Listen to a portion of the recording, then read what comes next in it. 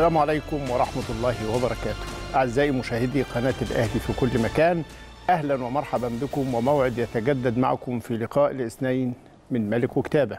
حلقة النهاردة بيغيب عننا فيها الزميل العزيز الكبير المهندس عبد القيعي لظروف أجازة قصيرة خاصة ملهاش علاقة باللي في بالكم مجرد من الراجل بيختفي أو بيطلع أجازة أو لفسحة قصيرة جدا كل الاجتهادات بتروح في سكك تانية كتير.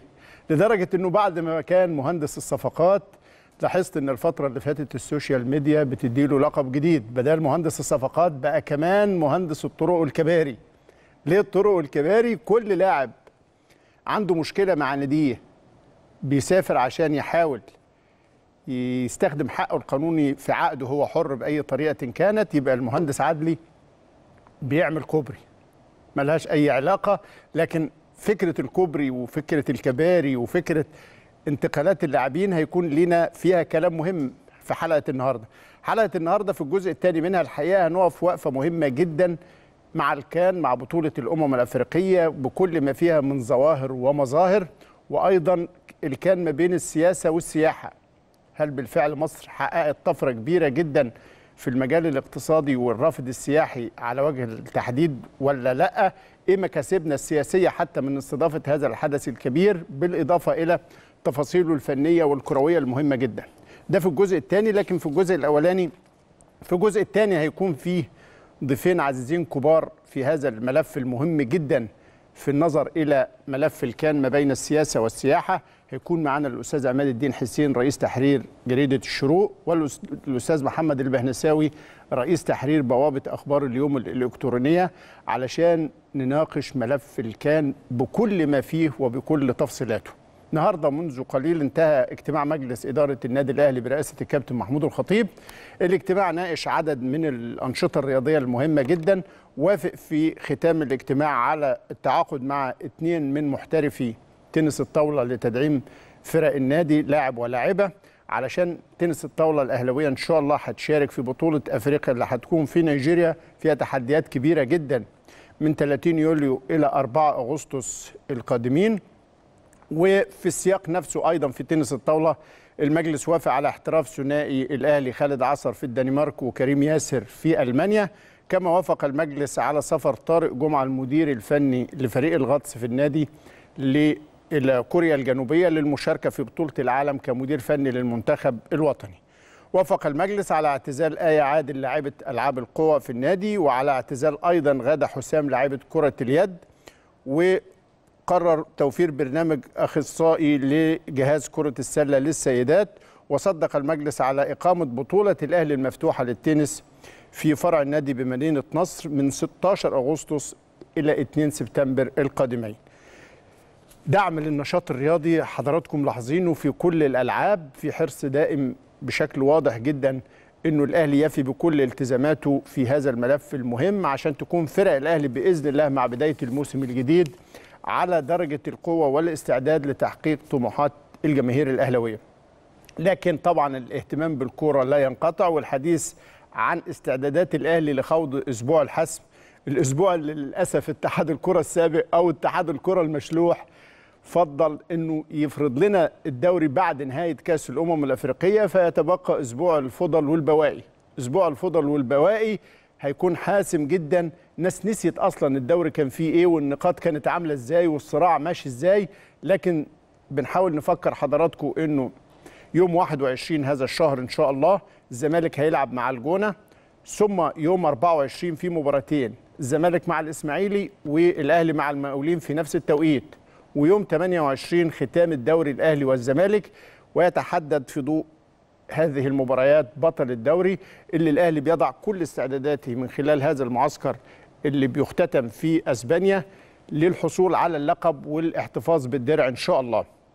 النهارده الأهلي كان عنده مباراة ودية أخيرة في معسكره في أسبانيا يمكن مارتن لاسارتو المدير الفني اهتم إنه عايز يشرك أكبر عدد من اللعيبة لما بدأ ده جانب من التدريبات في معسكر أسبانيا اللي الجهاز الفني مبسوط بكل نتائج هذا المعسكر. لكن عايز أقول لحضراتكم إنه الأهلي بيلعب مباراة ودية. بدأ الشوط الأول آه، لاسارتي شاف فروقات المستوى عالية جدا. لا تفي بدرجة النديه اللي تحقق له ال ال الأهداف الفنية اللي بيسعى ليها. فالأهلي تقدم في الشوط الأول فقط 6-0 بسهولة. كان سجل منهم جونيور اجاييه هدفين وحمدي فتحي سجل هدفين ورمضان صبحي سجل هدفين. و آه، بعد وأيضا وليد أزارو سجل هدفين. الخواجة شاف النتيجة بتوسع قوي ودرجة النديه مش متوفرة فقرر إن الشوط الثاني يقلبها تقسيمة بين لعيبة الأهلي مع بعضهم عشان يحاول يخلق أكبر قدر من النديه ويحاول يجرب بعض النواحي التكتيكية اللي هو عايز يختتم بيها المعسكر. إن شاء الله ختام المعسكر. النهارده هتشوفوا ملخص لختام المعسكر بكل ما جرى فيه النهارده بعد حلقه ملك وكتابة. هتشوفوا ملخص لكل ما جرى فنيا في هذا اليوم. لكن معنا أيضا من أسبانيا الزميل عمر ربيع ياسين موفد قناة الأهلي إلى أسبانيا. يا عمر مساء الخير. أستاذ إبراهيم مساء النور. ازي حضرتك؟ أخبار حضرتك إيه؟ إزاي صحتك؟ الحمد لله تحياتي لحضرتك وتحياتي للباشمهندس عدلي و يعني أكيد طبعا زي ما حضرتك قلت ختام المعسكر النهارده آخر يوم إن شاء الله هيكون في آه، أسبانيا في مدينة أليكانتي. علشان بكرة إن شاء الله آه، نتوجه بعد الغداء على طول إلى مطار أليكانتي ونركب الطيارة. نتوجه إلى مطار القاهرة. معسكر ناجح أستاذ إبراهيم مفيش شك. كل اللي ما يتمناه لاعب كرة القدم موجود في هذا المعسكر من آه، من غرف آه، للاعبين من وجبات نظام غذائي من آه، استشفاء خاص باللاعبين. كل حاجة أعتقد إنها كانت متوفرة بشكل كبير. كمان إحنا بنتكلم على الجانب البدني الجانب الفني مجتمعات النشاط والجهاز الفني. نجح في نجح في البرنامج اللي هو محدده برنامج كان معظمه على خطتين تدريب صباحي وتدريب مسائي. ال- المعدل اللياقة البدنية كان عالي جدا وفي نفس الوقت هو كان طالب آه، ماتشات ودية بمختلف أو بمستوى قوة متناسب ما بين البداية آه، ثم المباراة الثانية ثم المباراة الثالثة. وبالتالي حضرتك مستر مارتن مصاطي يعني أعتقد إن هو حط إيده على 90% من الشكل والطريقة واللاعبين اللي إن شاء الله هيلعب بيهم مباراة المقاولين وكمان إمبارح كان إمبارح كان بيسجل معايا لقاء وقال لي إحنا آه، إن شاء الله هيكون في آه، مباراة ودية أخرى في القاهرة علشان نطمن بيها على كل اللعيبة اللي موجودين حتى اللعيبة الدولية اللي وصلت آه، امبارح آه، أستاذ إبراهيم أو أو أو أول امبارح آه، إلى مقر البعثة. وفي نفس الوقت هو ما حبش يجهزهم ما حبش إن هو يشاركهم هم بس مكتفيين فقط بالتدريبات داخل صاله الجيم ومع كابتن حسين عبد الزايد.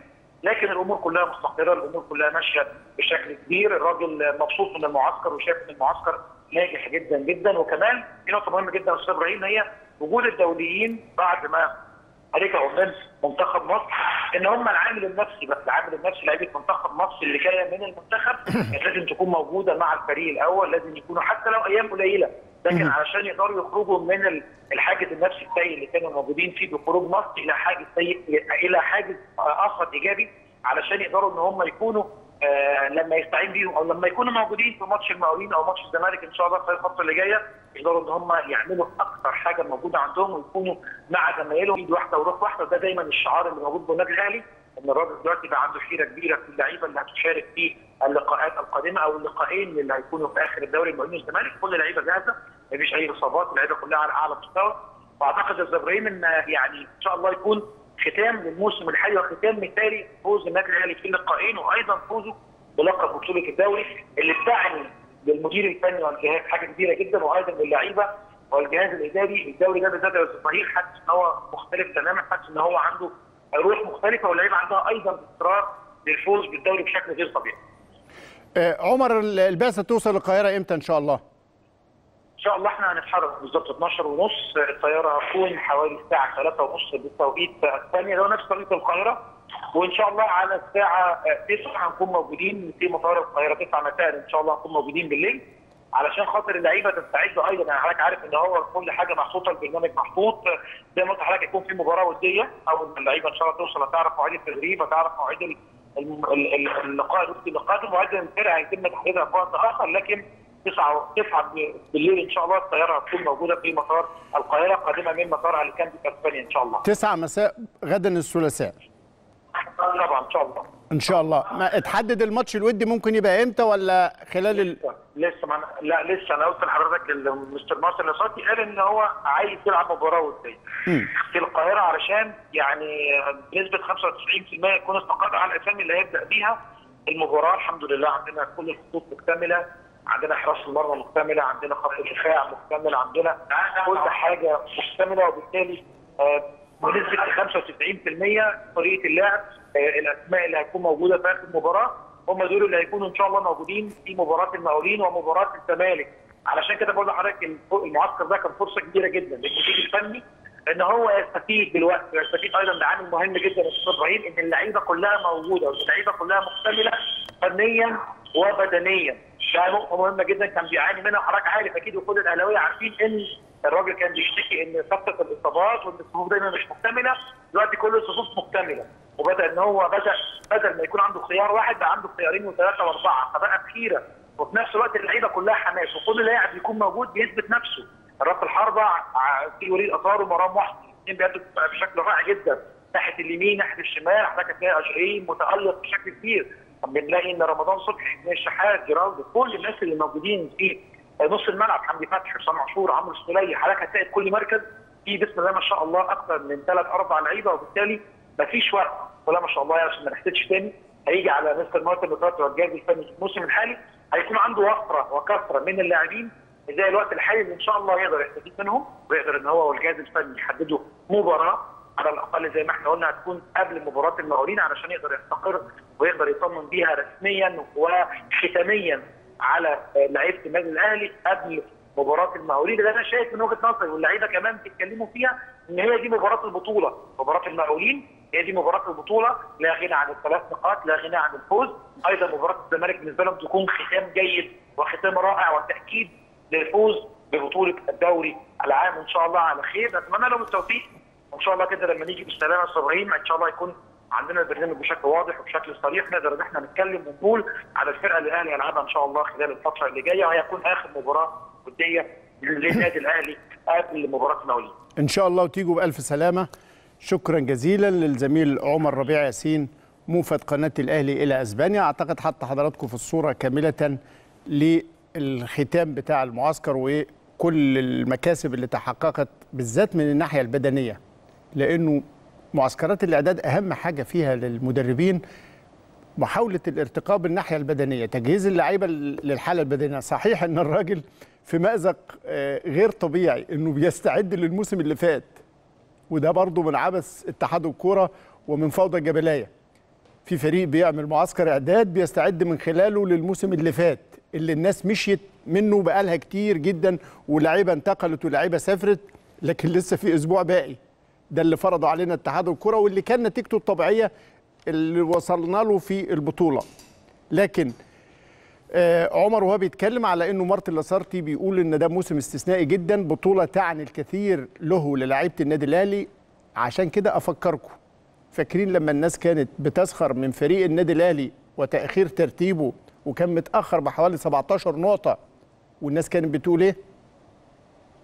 النهارده الأهلي على صدارة الدوري الأقرب بإذن الله تعالى لتحقيق اللقب بعد ما كان متأخر بفارق 17 نقطة دلوقتي بيتقدم بفارق ست نقاط وعنده فرصة كبيرة جدا للحفاظ على آه، اللقب بإذن الله واللي بيعني الكثير لمارتن لاسارتي زي ما قال في تصريحاته. وقال إنه كان أصعب المواقف اللي واجهها خلال هذا الموسم الشاق والغريب جدا مباراتين مع سان داونز وأيضا مباراة بيراميدز.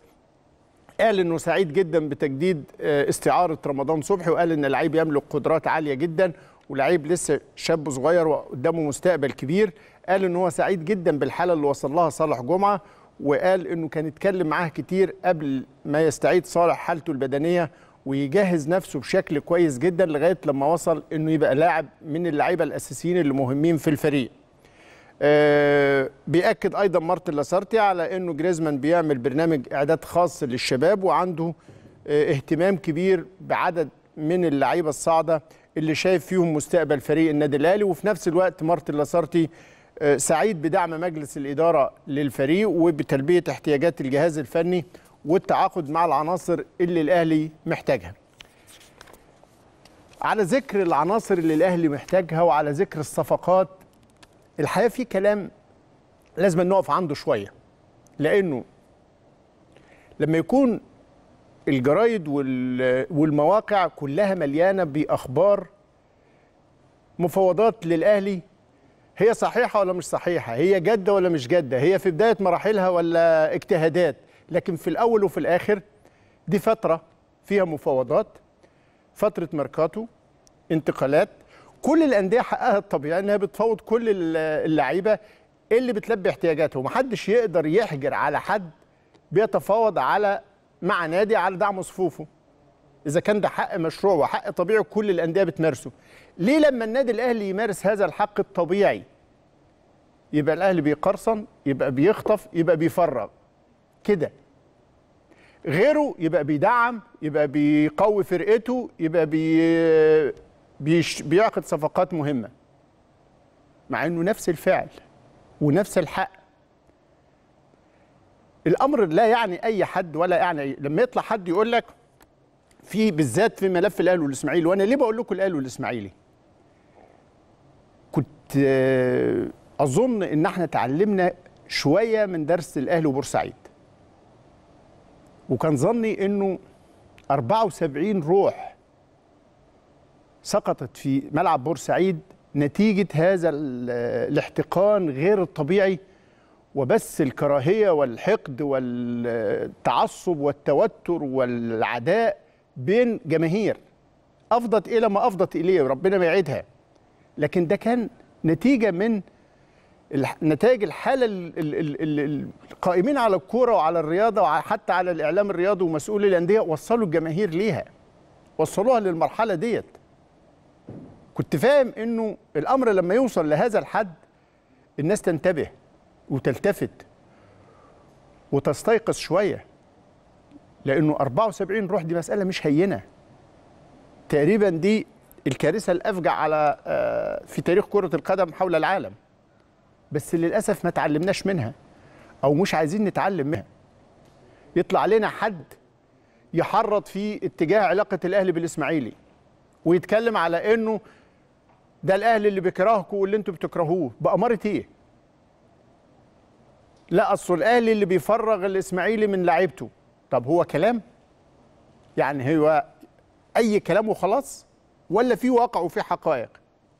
الإسماعيلي شأنه شأن كل الأندية. عنده لعيبة كويسة بتنتقل منه للأهلي أو لغير الأهلي. الانتقال يا إما بيبقى انتقال حر يا إما بيع وشراء.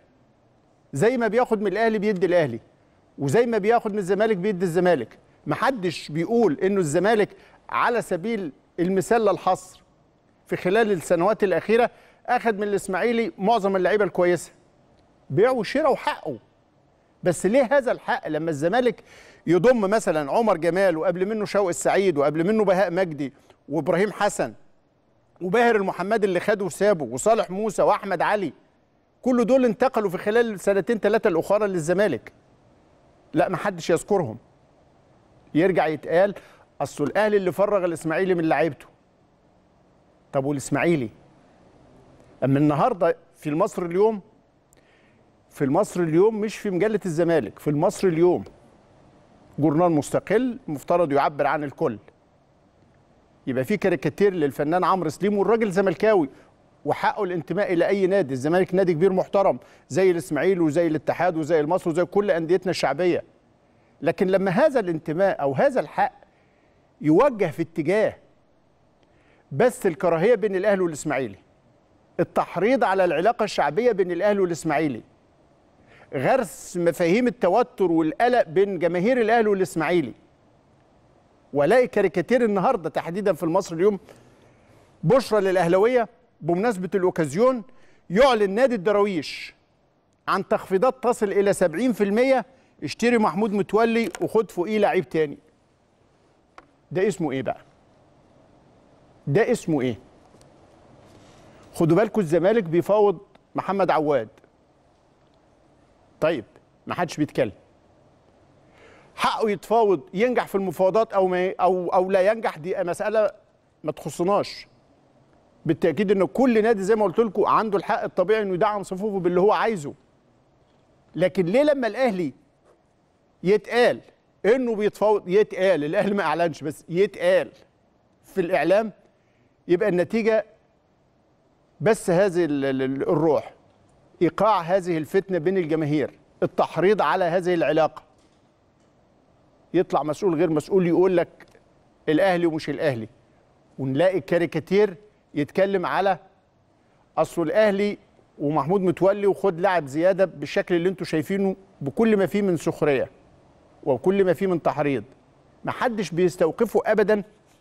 زي ما قلت لكم الزمالك ضم كل اللعيبة ديت من الإسماعيلي. ابتداء من رضا سيكا لإسلام الشاطر لهاني سعيد لعصام الحضري ثم أحمد علي ثم صالح موسى وباهر المحمدي وإبراهيم حسن وبها- وبهاء مجدي وشوقي السعيد وعمر جمال. كل دول انتقلوا ومحمد يونس انتقلوا من الإسماعيلي للزمالك. طب الأهلي؟ الأهلي اللي ما في فريق في الدوري اللي عنده لعيبة من ولاد النادي الأهلي ومن مدرسة الكورة في النادي الأهلي تحديدا. يعني إذا كان الأهلي ضم من الإسماعيلي من ضم وهنقولهم هنقولهم لكن ما حدش بيستوقفوا الحقيقة إنه الإسماعيلي ضم من الأهلي أكتر ما الأهلي ضم من الإسماعيلي. بل بالعكس ربما كان اللعيبة اللي الإسماعيلي خدها من الأهلي عدد كبير منهم من ولاد النادي الأهلي. يعني اتربوا في مدرسة الكورة في النادي الأهلي. يعني الأهلي كان السبب في إن هو دول يلعبوا كورة. وينتقلوا للإسماعيلي والغير الإسماعيلي وحق الإسماعيلي. ما حدش يقدر الاسماعيلي نادي كبير ومن حقه يتفاوض ويضم اللي هو عايزهم. بس أنا بتكلم على إنه ليه الأهلي لما بيضم يتعرض لهذا التحريض وهذه الإساءات وهذا الإيقاع بينه وبين الجماهير في الإسماعيلية. عشان بعد كده تحدث كل المشاكل اللي بتحصل ومحدش بيتكلم على إنه النبت بدأ منين. الغرس الخبيث كان بدايته إزاي؟ محدش بيستوقفه ده. إحنا اللي بنصنع هذه الكتلة من النار. وبعد كده نحاسب حرقت مين وحرقت ليه؟ إحنا اللي بنوقدها. الأهلي من ولاده من أبناء مدرسة الكورة فيه اللي انتقلوا للإسماعيلي إبراهيم سعيد أحمد صديق أحمد سمير فرج هاني سعيد محمد فضل محمد جودة كريم بامبو آخر واحد. دول ولاد النادي الأهلي. طيب انتقل للنادي الإسماعيلي من النادي الأهلي لعيبة دوليين لعيبة دوليين كبار منهم كباتن كانوا في النادي الأهلي إذا كان عصام الحضري ولا شادي محمد ولا مجدي طلبة؟ انتقل من الأهلي بعد ما لعب. آه ابن الزمالك واحترف في اليونان جه الأهلي وبعد كده راح الإسماعيلي. والقايمة تطول بكل اللي أنا قلتهم لكم. مصريين وغير حتى أمير سعيود الجزائري أحمد صلاح حسني الممثل الكبير دلوقتي مهاجم الأهلي وابن الأهلي وابن مدرسة الكورة في الأهلي واحترف في الخارج في فرنسا ولما رجع أو في ألمانيا ولما رجع رجع لعب في الإسماعيلي. محدش بيتكلم. كله بيتكلم على نجاح بركات ومجموعة إسلام الشاطر وعماد النحاس وسيد معوض اللي جم النادي الأهلي. ومحدش بيقول هو النادي الأهلي يعني ضم من الإسماعيلي بشكل مباشر بيع وشراء شريف عبد الفضيل و آه، يعني عبد الله السعيد. لعيبة قليلة جدا ثلاث لعيبة أو ومحمد عبد الله بيع وشراء من الإسماعيلي للأهلي. غير كده الإسماعيلي يبيع محمد بر والكلام لجمهور الإسماعيلي. الاسماعيلي باع محمد بركات برقم كبير لأهلي جدة. تألق مع أهلي جدة وخد كاس. ثم أهلي جدة باعوا للعرب القطري. لعب سنة والعرب القطري باعوا للنادي الأهلي. اتقال لك لا الاهلي هو اللي عامل الكوبري ده عشان ينقل بركات يعني الاهلي عمل كوبري القاهرة جده جده الدوحة الدوحة القاهرة. كده؟ على ذكر ال- ال- ال- الكوبري اللي بيتقال اليومين دول؟ طيب. الزمالك تفاوض مع بركات وهو في العرب القطري وبعد كده قال لك لا مش هيضمه ومريض وعنده الغدة الدرقية ومش هيكمل و. لما نجح بقى الاهلي خطفه من الاسماعيلي. زي اسلام الشاطر. الاهلي قدم عرض للاسماعيلي عشان يضمه والزمالك قدم عرض ماديا كان أقل من عرض الأهلي. رايح أنا فاكر وقتها المندوب الحسيني أمين صندوق نادي الزمالك راح للإسماعيلي قدم العرض بتاعه أقل من عرض الأهلي. والمهندس إبراهيم عثمان قال أنا هبيعه للإسماعيلي للزمالك رغم إن هو العرض الأقل بس عشان أشتري سكوت جماهير الإسماعيلي. إسلام الشاطر حط بند في عقده شرط جزائي. طيب الزمالك أعار إسلام الشاطر لاتحاد جده السعودي. لعب سنة في الاتحاد.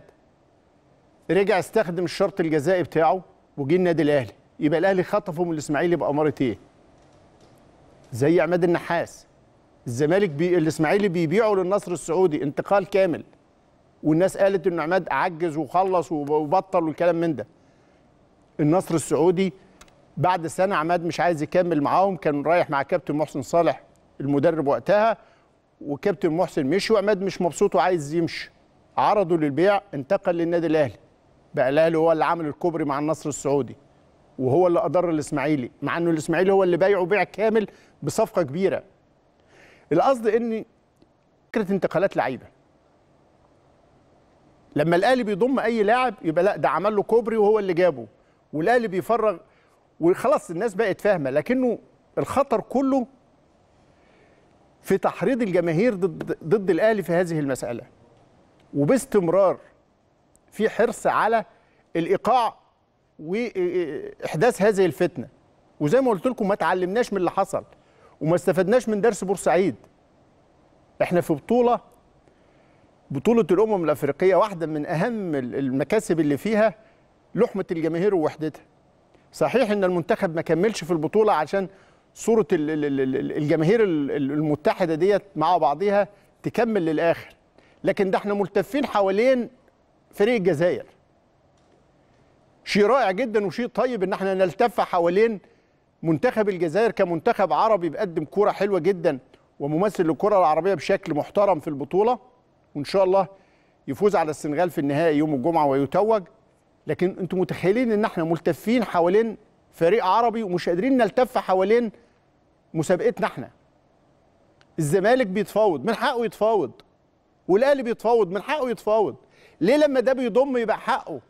وليه لما الأهلي يضم يبقى بيقرصن وبيخطف وبيفرغ وبي... وبيحرض؟ ليه؟ إمتى هذا الخطاب الإعلامي يتغير؟ إمتى نعد درس بجد؟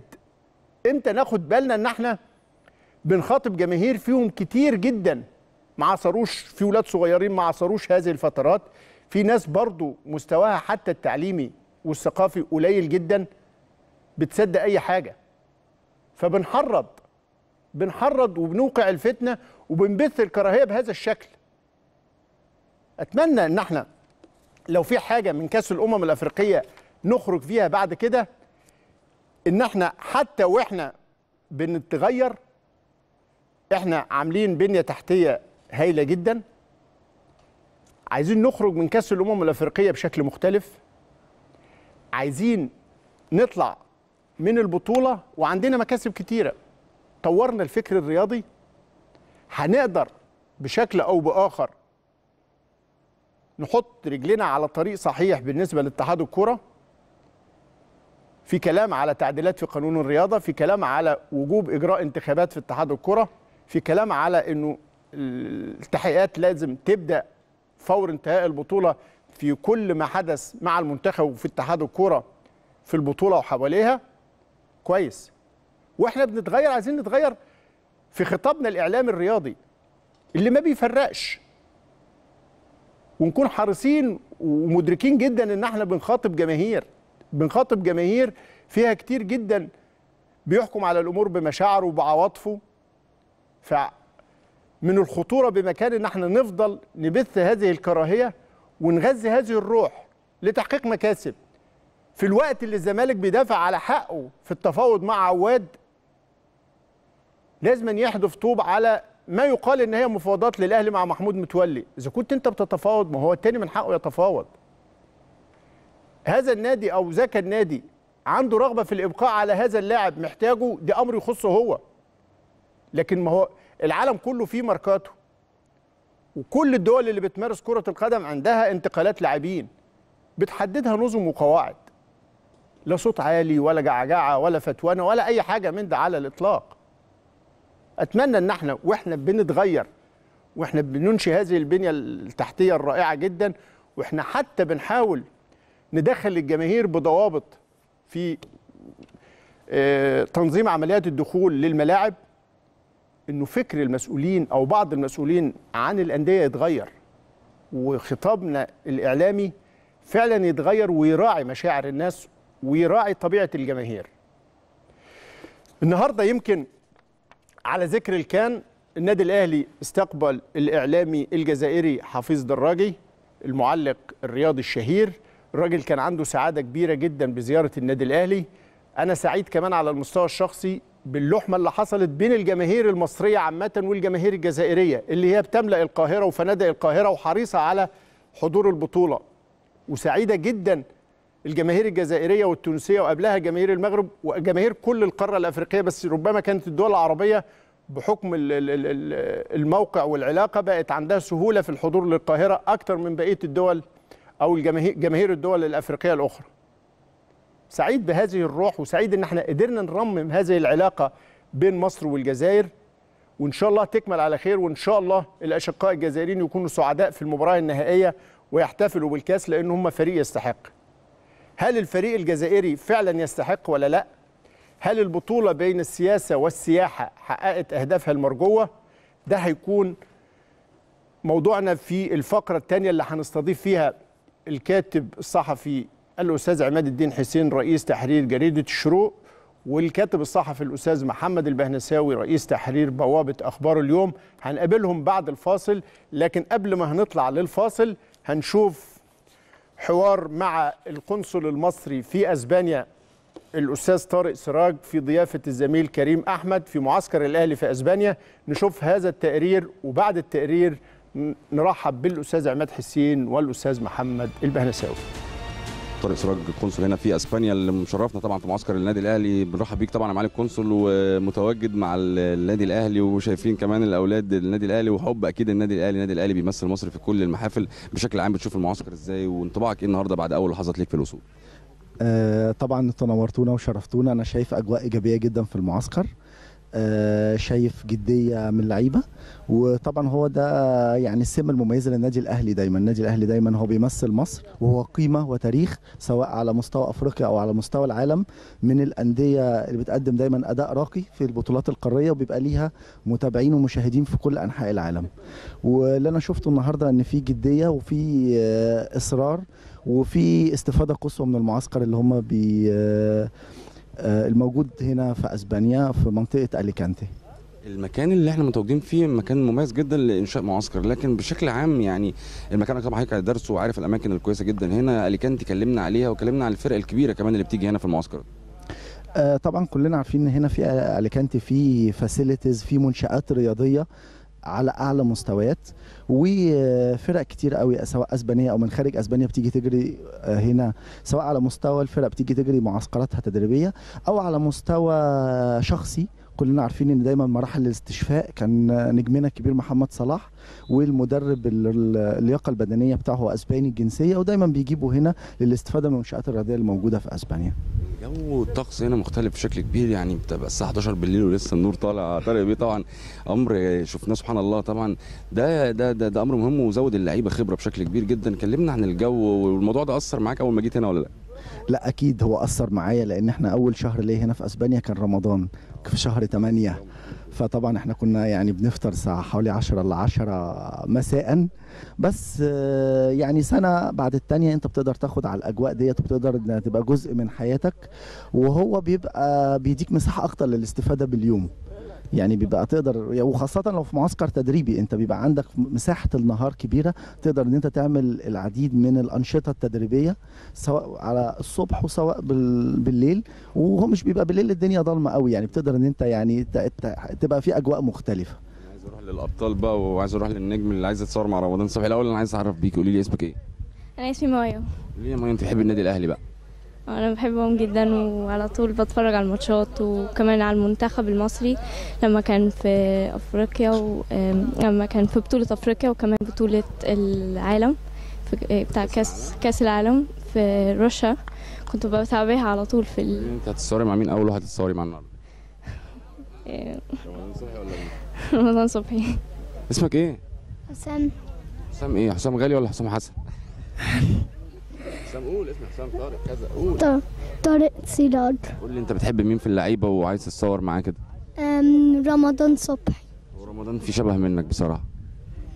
قول لي كمان انت بتحب النادي الأهلي وبتشجع النادي الأهلي في الماتشات ولا لأ؟ آه بشجع. طب عايز تقول لي للعيبة وتحب تقول لهم إيه؟ أم أم العبوا العبوا كورة و... وتسابوا الدوري. برافو عليك برافو عليك. قولي لي اسمك إيه؟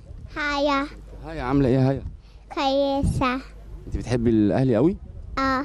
بتحبي مين في الأهلي؟ بتحبي مين في لعيبة الأهلي ولا مش عارفة من اللعيبه أنا بحب محمد صلاح. بتحبي محمد صلاح؟ محمد صلاح في المنتخب؟ قولي لي قولي لي قولي لي الأهلي هياخد الدوري ولا لأ؟ قولي إن شاء الله بقى الأهلي ياخد الدوري. إن شاء الله برافو عليك ربنا يكرمك طبعا طارق بيه طبعا يعني عايز أقول لك شرفت طبعا المعسكر كالعادة وإن شاء الله بإذن الله النادي الأهلي يعود من هنا بتركيز باستفادة كويسة. تعود عليه إن شاء الله في بطولة الدوري العام. الله وإن شاء الله ياخد الدوري بإذن الله. كلنا منتظرين كده إن شاء الله. okay merci جدا تحياتي ميرسي جدا. شكرا.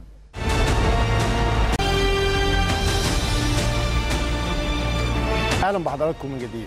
زي ما قلت لكم قبل الفاصل لا حديث أو لا صوت يعلو على صوت الكان. رغم خروج منتخب مصر من البطولة مبكرا إلا أن هناك الكثير من المكاسب. ماذا تحقق في الكان بالفعل الكان هت- يسدل الستار عليها الجمعة الجاية إن شاء الله لكن في كلام كتير حوالين ما تحقق فيها من مكاسب. عشان كده كان مهم جدا يكون ضيفينا اليوم ضيفان على مستوى الحدث. أستاذ عماد الدين حسين رئيس تحرير الشروق. أهلا بك يا أستاذ عماد. أهلا بك أستاذ إبراهيم. أنت إيه بقيت ناقد رياضي خلاص؟ آه خمس أنا- مقالات ورا بعض عن كأس الامم لا ده مش خمسة أنا كاتب 12 مقال. إحنا اتكلمنا هنا على سما المصري. ثمن مصري يعني طب خل... آه، يعني قدم ليس بعد نساء وبعد كده ثمن لها. مصري. نرجع لها. وأيضا معنا النا- الكاتب الصحفي الأستاذ محمد البهنساوي رئيس تحرير بوابة أخبار اليوم. أستاذ محمد أهلا بيك. أهلا بيك أستاذ إبراهيم. أهلا وسهلا بيك. وألف مبروك افتتاح صالة التحرير الحديثة. ربنا يخليك وإن شاء الله يبقى يعني نقلة كبيرة المفروض. نقلة كبيرة للأخبار وأعتقد إن شاء الله تتطبق في آه، معظم المؤسسات الصحفية المصرية لأن ده المستقبل. إحنا بنقول الاستاذ عماد طبعا آه، أستاذنا مبروك. في القصة دي. إحنا بنتكلم على حرب جوفاء ما بين الورق والإلكتروني. لا إحنا في أخبار اليوم بنقول إن في تكامل إن شاء الله يتحقق على أعلى مستوى بين الاثنين يعني. أستاذ عماد آه، كأس الأمم بين السياسة والسياحة السياسة هتتكلم فيها بالجزء العروبي. إن كان لا زال هناك شيء متبقي من ال- من العروبة اللي تبلورت فقط في منتخب الجزائر دلوقتي. وأيضا الجانب السياحي بالذات الأستاذ محمد البهنساوي واحد من كتاب الصحفيين المهتمين جدا بالملف السياحي.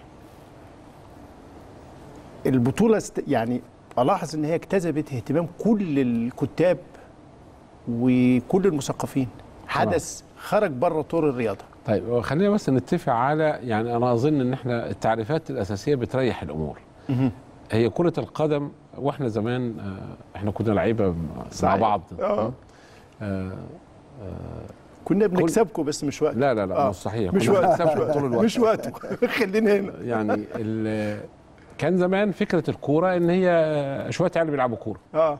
وروح العب قدام بيتكم وبتاع واللي بيزعل بياخد الكورة ويروح. صحيح. ماشي. عملتها فين أنت كتير؟ كتير آه. ال- واللي كان عنده تلفزيون أبيض وأسود ما كانش. كان بيفرج الناس بحاجات كانت ظريفة. وقتها كانت الكورة شوية لعب عيال فعلا. آه. لكن دلوقتي الكورة هي صناعة وسياسة واقتصاد.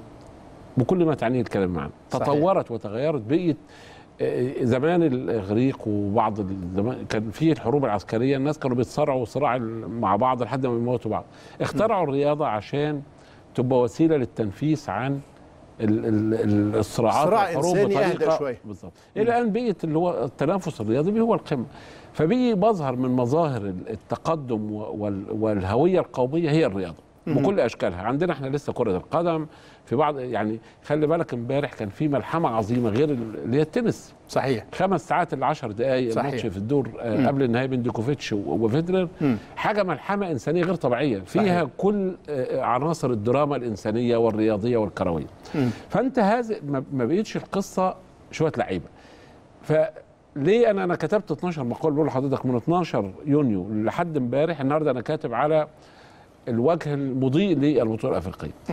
إنه كل مقال بقول يا اخوانا أنا مش هنافس حضراتكم النقاد الرياضيين في الكتابة عن الجانب الفني. أنا راجل هاوي كورة بتفرج على كورة وبحب الكورة لكن أنا هكتب في الجوانب الأخرى ال- اللصيقة ذات الصلة بكرة القدم فتحملوني في الجزء ده. فالكورة أنا مش هتكلم على الخطط أنت تتكلم أنت أفضل مني حسن المستكاوي فتحي سند إبراهيم حجازي كل الناس العمالقة الكبار. أنا بتكلم في علاقة الكورة بأي مجال تاني.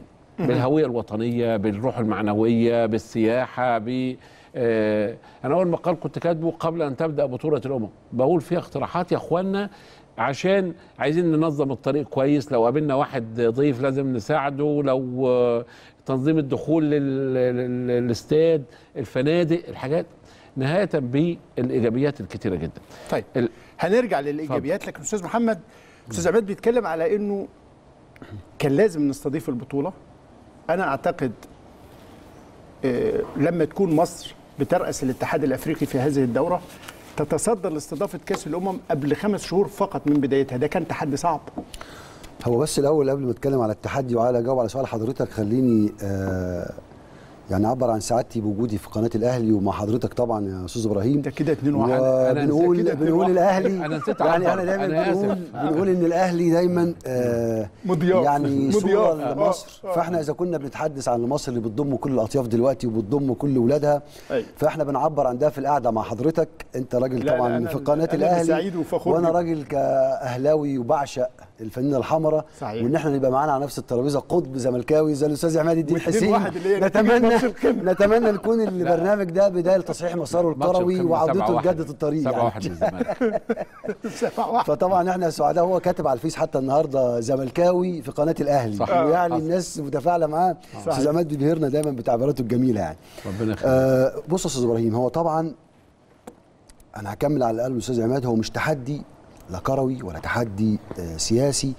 هو أنا أعتقد تحدي متعدد المهام ومتعدد الأطراف.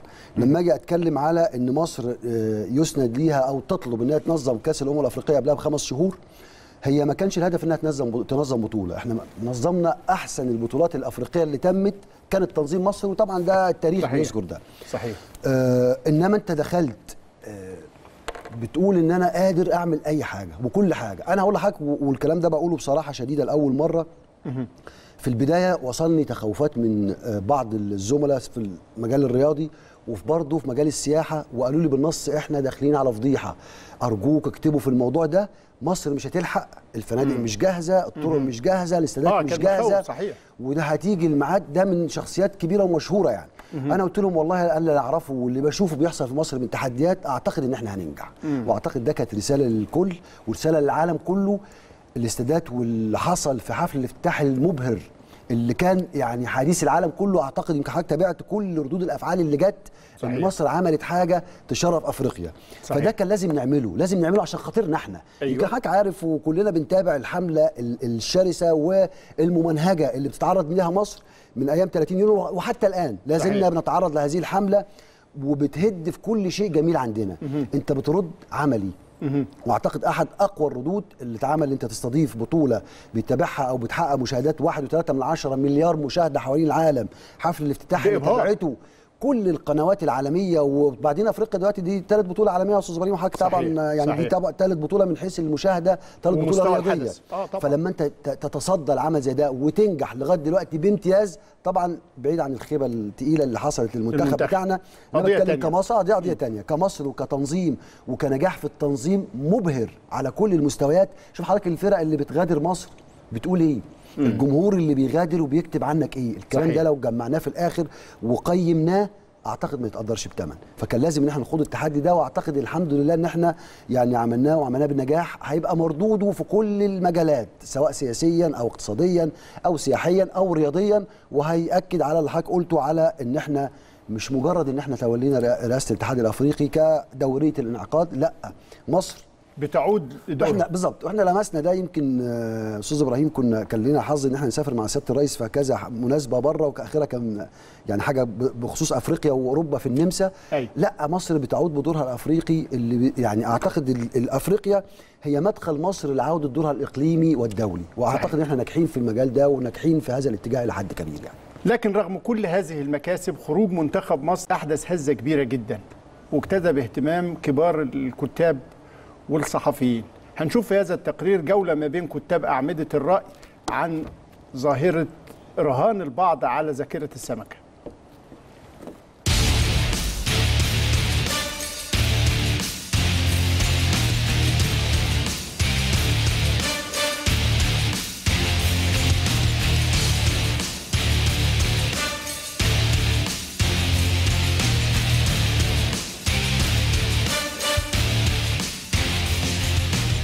لم تجف دموع الخروج الحزين للمنتخب الوطني من الكان لكن كثيرين يتخوفون من تكرار المشهد.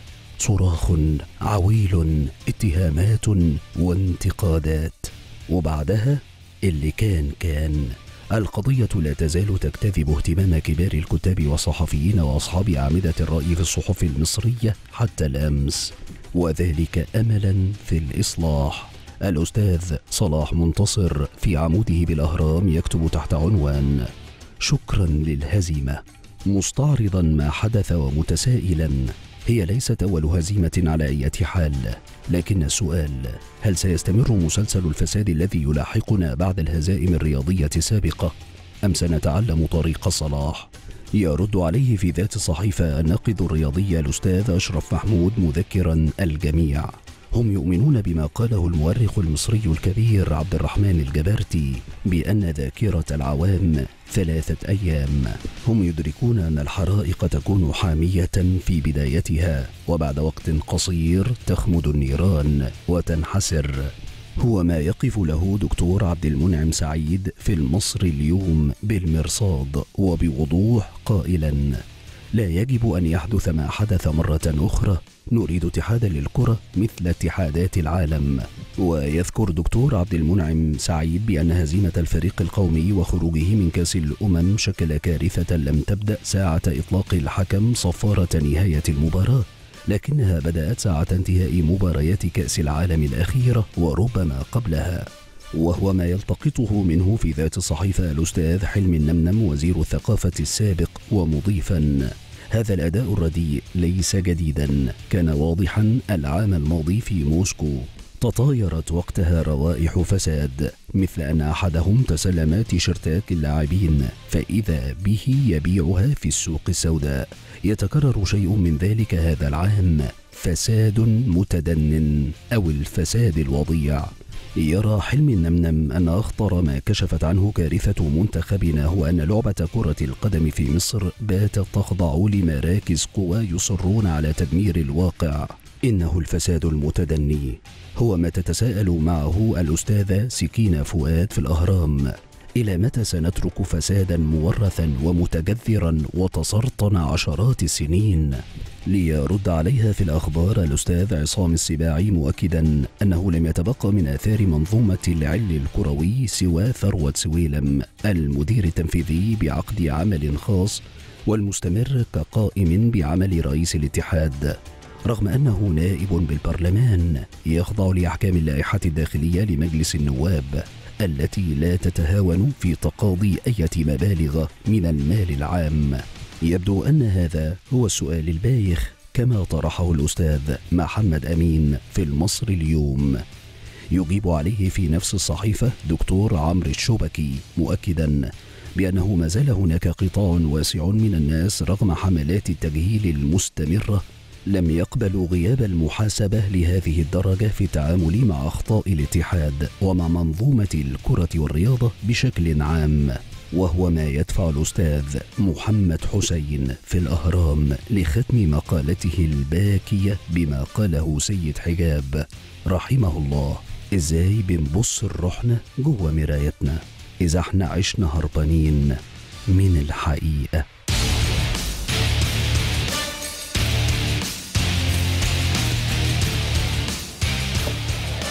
أستاذ عماد تقرير يعني بيجوب بين كتاب الرأي وأنت واحد من ال... يعني كتبت كتير في المنتخب وقضيته. إيه، هل فعلا المسألة زي حتى ما الأستاذ صلاح منتصر قال خرجنا يوم أن خرجنا في موسكو؟ إلى حد كبير طبعا. لم يتغير شيء كتير. إحنا يعني أدائنا كان سيء جدا في في موسكو على الأقل تحديدا في ماتش السعودية. يعني مم. ممكن ماتش روسيا لعبنا جيد لكن آه، آه، الفريق الروسي كان قوي إلى حد كبير. لكن إحنا ماتش السعودية كان ماتش كارثي وبس هي دي الخامة بتاعتنا. كان المطلوب وقتها يعني تاني أنا أنا بتكلم كانطباعات آه، مشاهد مش مش- مش, ناقد متخصص.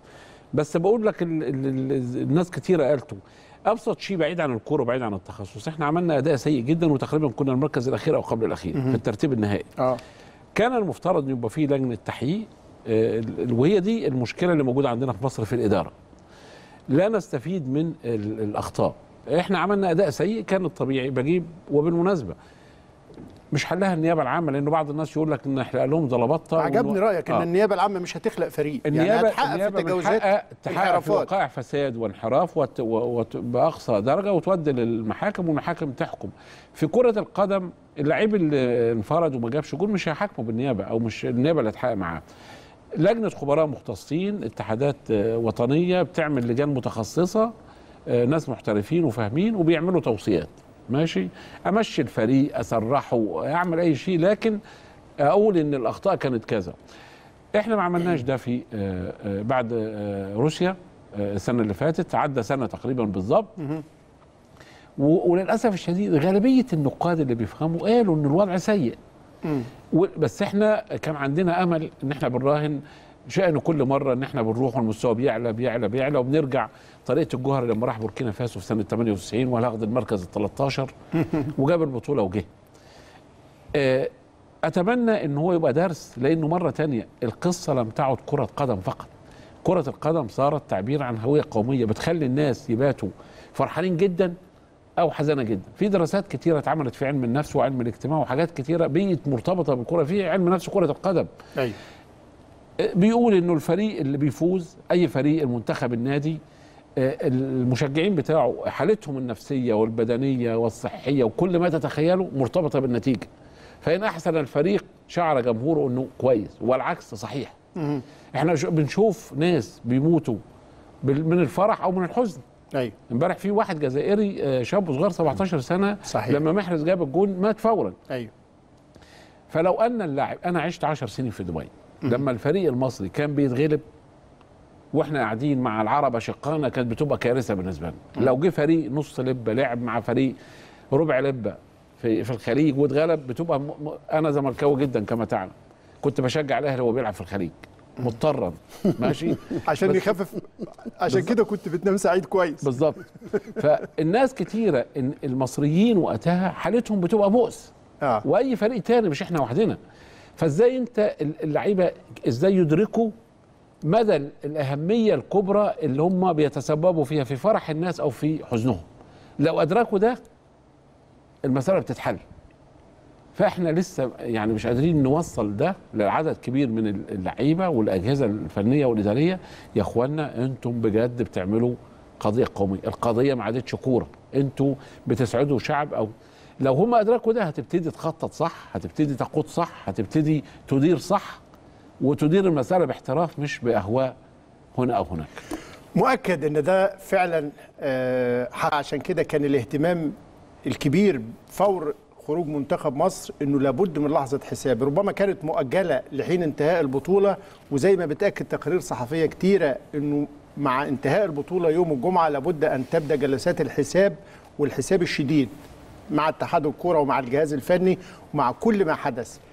حاجة للأستاذ محمد البهنساوي بالتفاصيل لكنه هنسافر سوا إلى أسبانيا مع الزميل عمر ربيع ياسين ومعه الكابتن علي معلول الجناح التونسي اللي غاب عن كأس الأمم الأفريقية لعل عمر ربيع ياسين يشوف لنا إيه اسباب غياب علي معلول عن كأس الأمم وانطباعاته عن البطولة واستعداداته مع الأهلي. اتفضل يا عمر.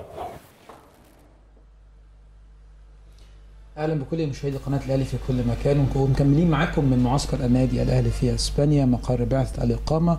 وزي ما حضراتكم عارفين وشايفين كواليسنا دايما بتكون كل يوم على قناة الأهلي مع لاعبي الفريق الأول. والنهاردة معانا واحد ضيف عزيز علينا كلنا واحد من أفضل اللعيبه اللي جم في مركز الظهير الأيسر في مصر وفي أفريقيا. بقاله كتير مش بيتكلم بقاله كتير مش بيطلع لكن يعني انتهزنا فرصتنا إن هو يكون موجود معانا وهنكلمه في بعض الملفات الخاصة بيه ومستقبل ومشوار النادي الأهلي في بطولة الدوري أو في بطولة أفريقيا. أكيد هو غني عن التعريف أو حضراتكم كلكم عرفتوه. هو الكابتن علي معلول. يا كابتن علي برحب بيك ومنور دايما قناة الأهلي. مرحبا بك عمر ومرحبا بكل مشاهدي قناة النادي الأهلي. إن شاء الله تكون حصه ممتازة إن شاء الله. كابتن علي طبعا وجودك في معسكر الفريق في إسبانيا أكيد عندك رؤية أكيد يعني شايف المعسكر تنظيميا اداريا فنيا تكتيكيا إزاي قدرت تستفيد وإزاي شايف المعسكر من وجهة نظرك؟ لا معسكر ممتاز على جميع الأصعدة الفندق نتاع الإقامة نتاعنا الملاعب اللي قاعدين نتدربوا فيها. الأجواء ما بين اللاعبين كل أجواء ممتازة. قاعدين نعملوا في معسكر يليق باسم النادي الأهلي. إحنا لهنا في فترة قاعدين نحضروا عنا زوز مقابلات مهمين. طبعا. آه كنا خيرنا نكون المعسكر هذا في إسبانيا الطقس قريب لمصر.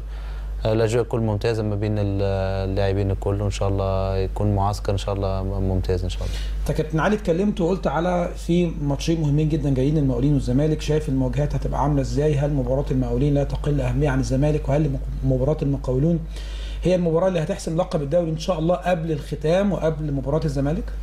كل مقابله عندها أهميتها، إحنا تو تركيزنا الكل على مقابلة المقاولين اللي مش تكون هي بالنسبة لي بالنسبة لنا إحنا كلاعبين إن هي أهم مقابلة. تمام. إن شاء الله كي تكسب المقابلة تاخذ الثلاثه نقاط نتاعك مش تحط ضغط على المنافس نتاعك اللي هو الزمالك. آه ناخذ كل مقابلة بالأولويات نتاعها عندنا مقابله الأولانية ضد المقاولين. إن شاء الله نحضروا لها كما يلزم وندخلوا للمقابلة كما يلزم ونحصلوا ثلاثة نقاط إن شاء الله. شايف بطولة أفريقيا الموسم اللي جاي تبقى عاملة إزاي كابتن علي؟ يمكن الموسم الحالي النادي الأهلي لم ينجح ولم يوفق في الفوز بلقب دوري أبطال أفريقيا بتحلم إنك تفوز باللقب الأفريقي مع الأهلي بتحلم إنك تكون موجود في كأس العالم للأندية إن شاء الله مع النادي الأهلي؟ أي لاعب أي لاعب لازم يجي للنادي الأهلي يعرف إنه النادي الأهلي متعود إنه ياخذ الدوري وياخذ الكأس لكن الكاس الأفريقية عندها مدة غايبة على النادي الأهلي. حاولنا في الثلاث سنين اللي تعداوا إن نكونوا موجودين.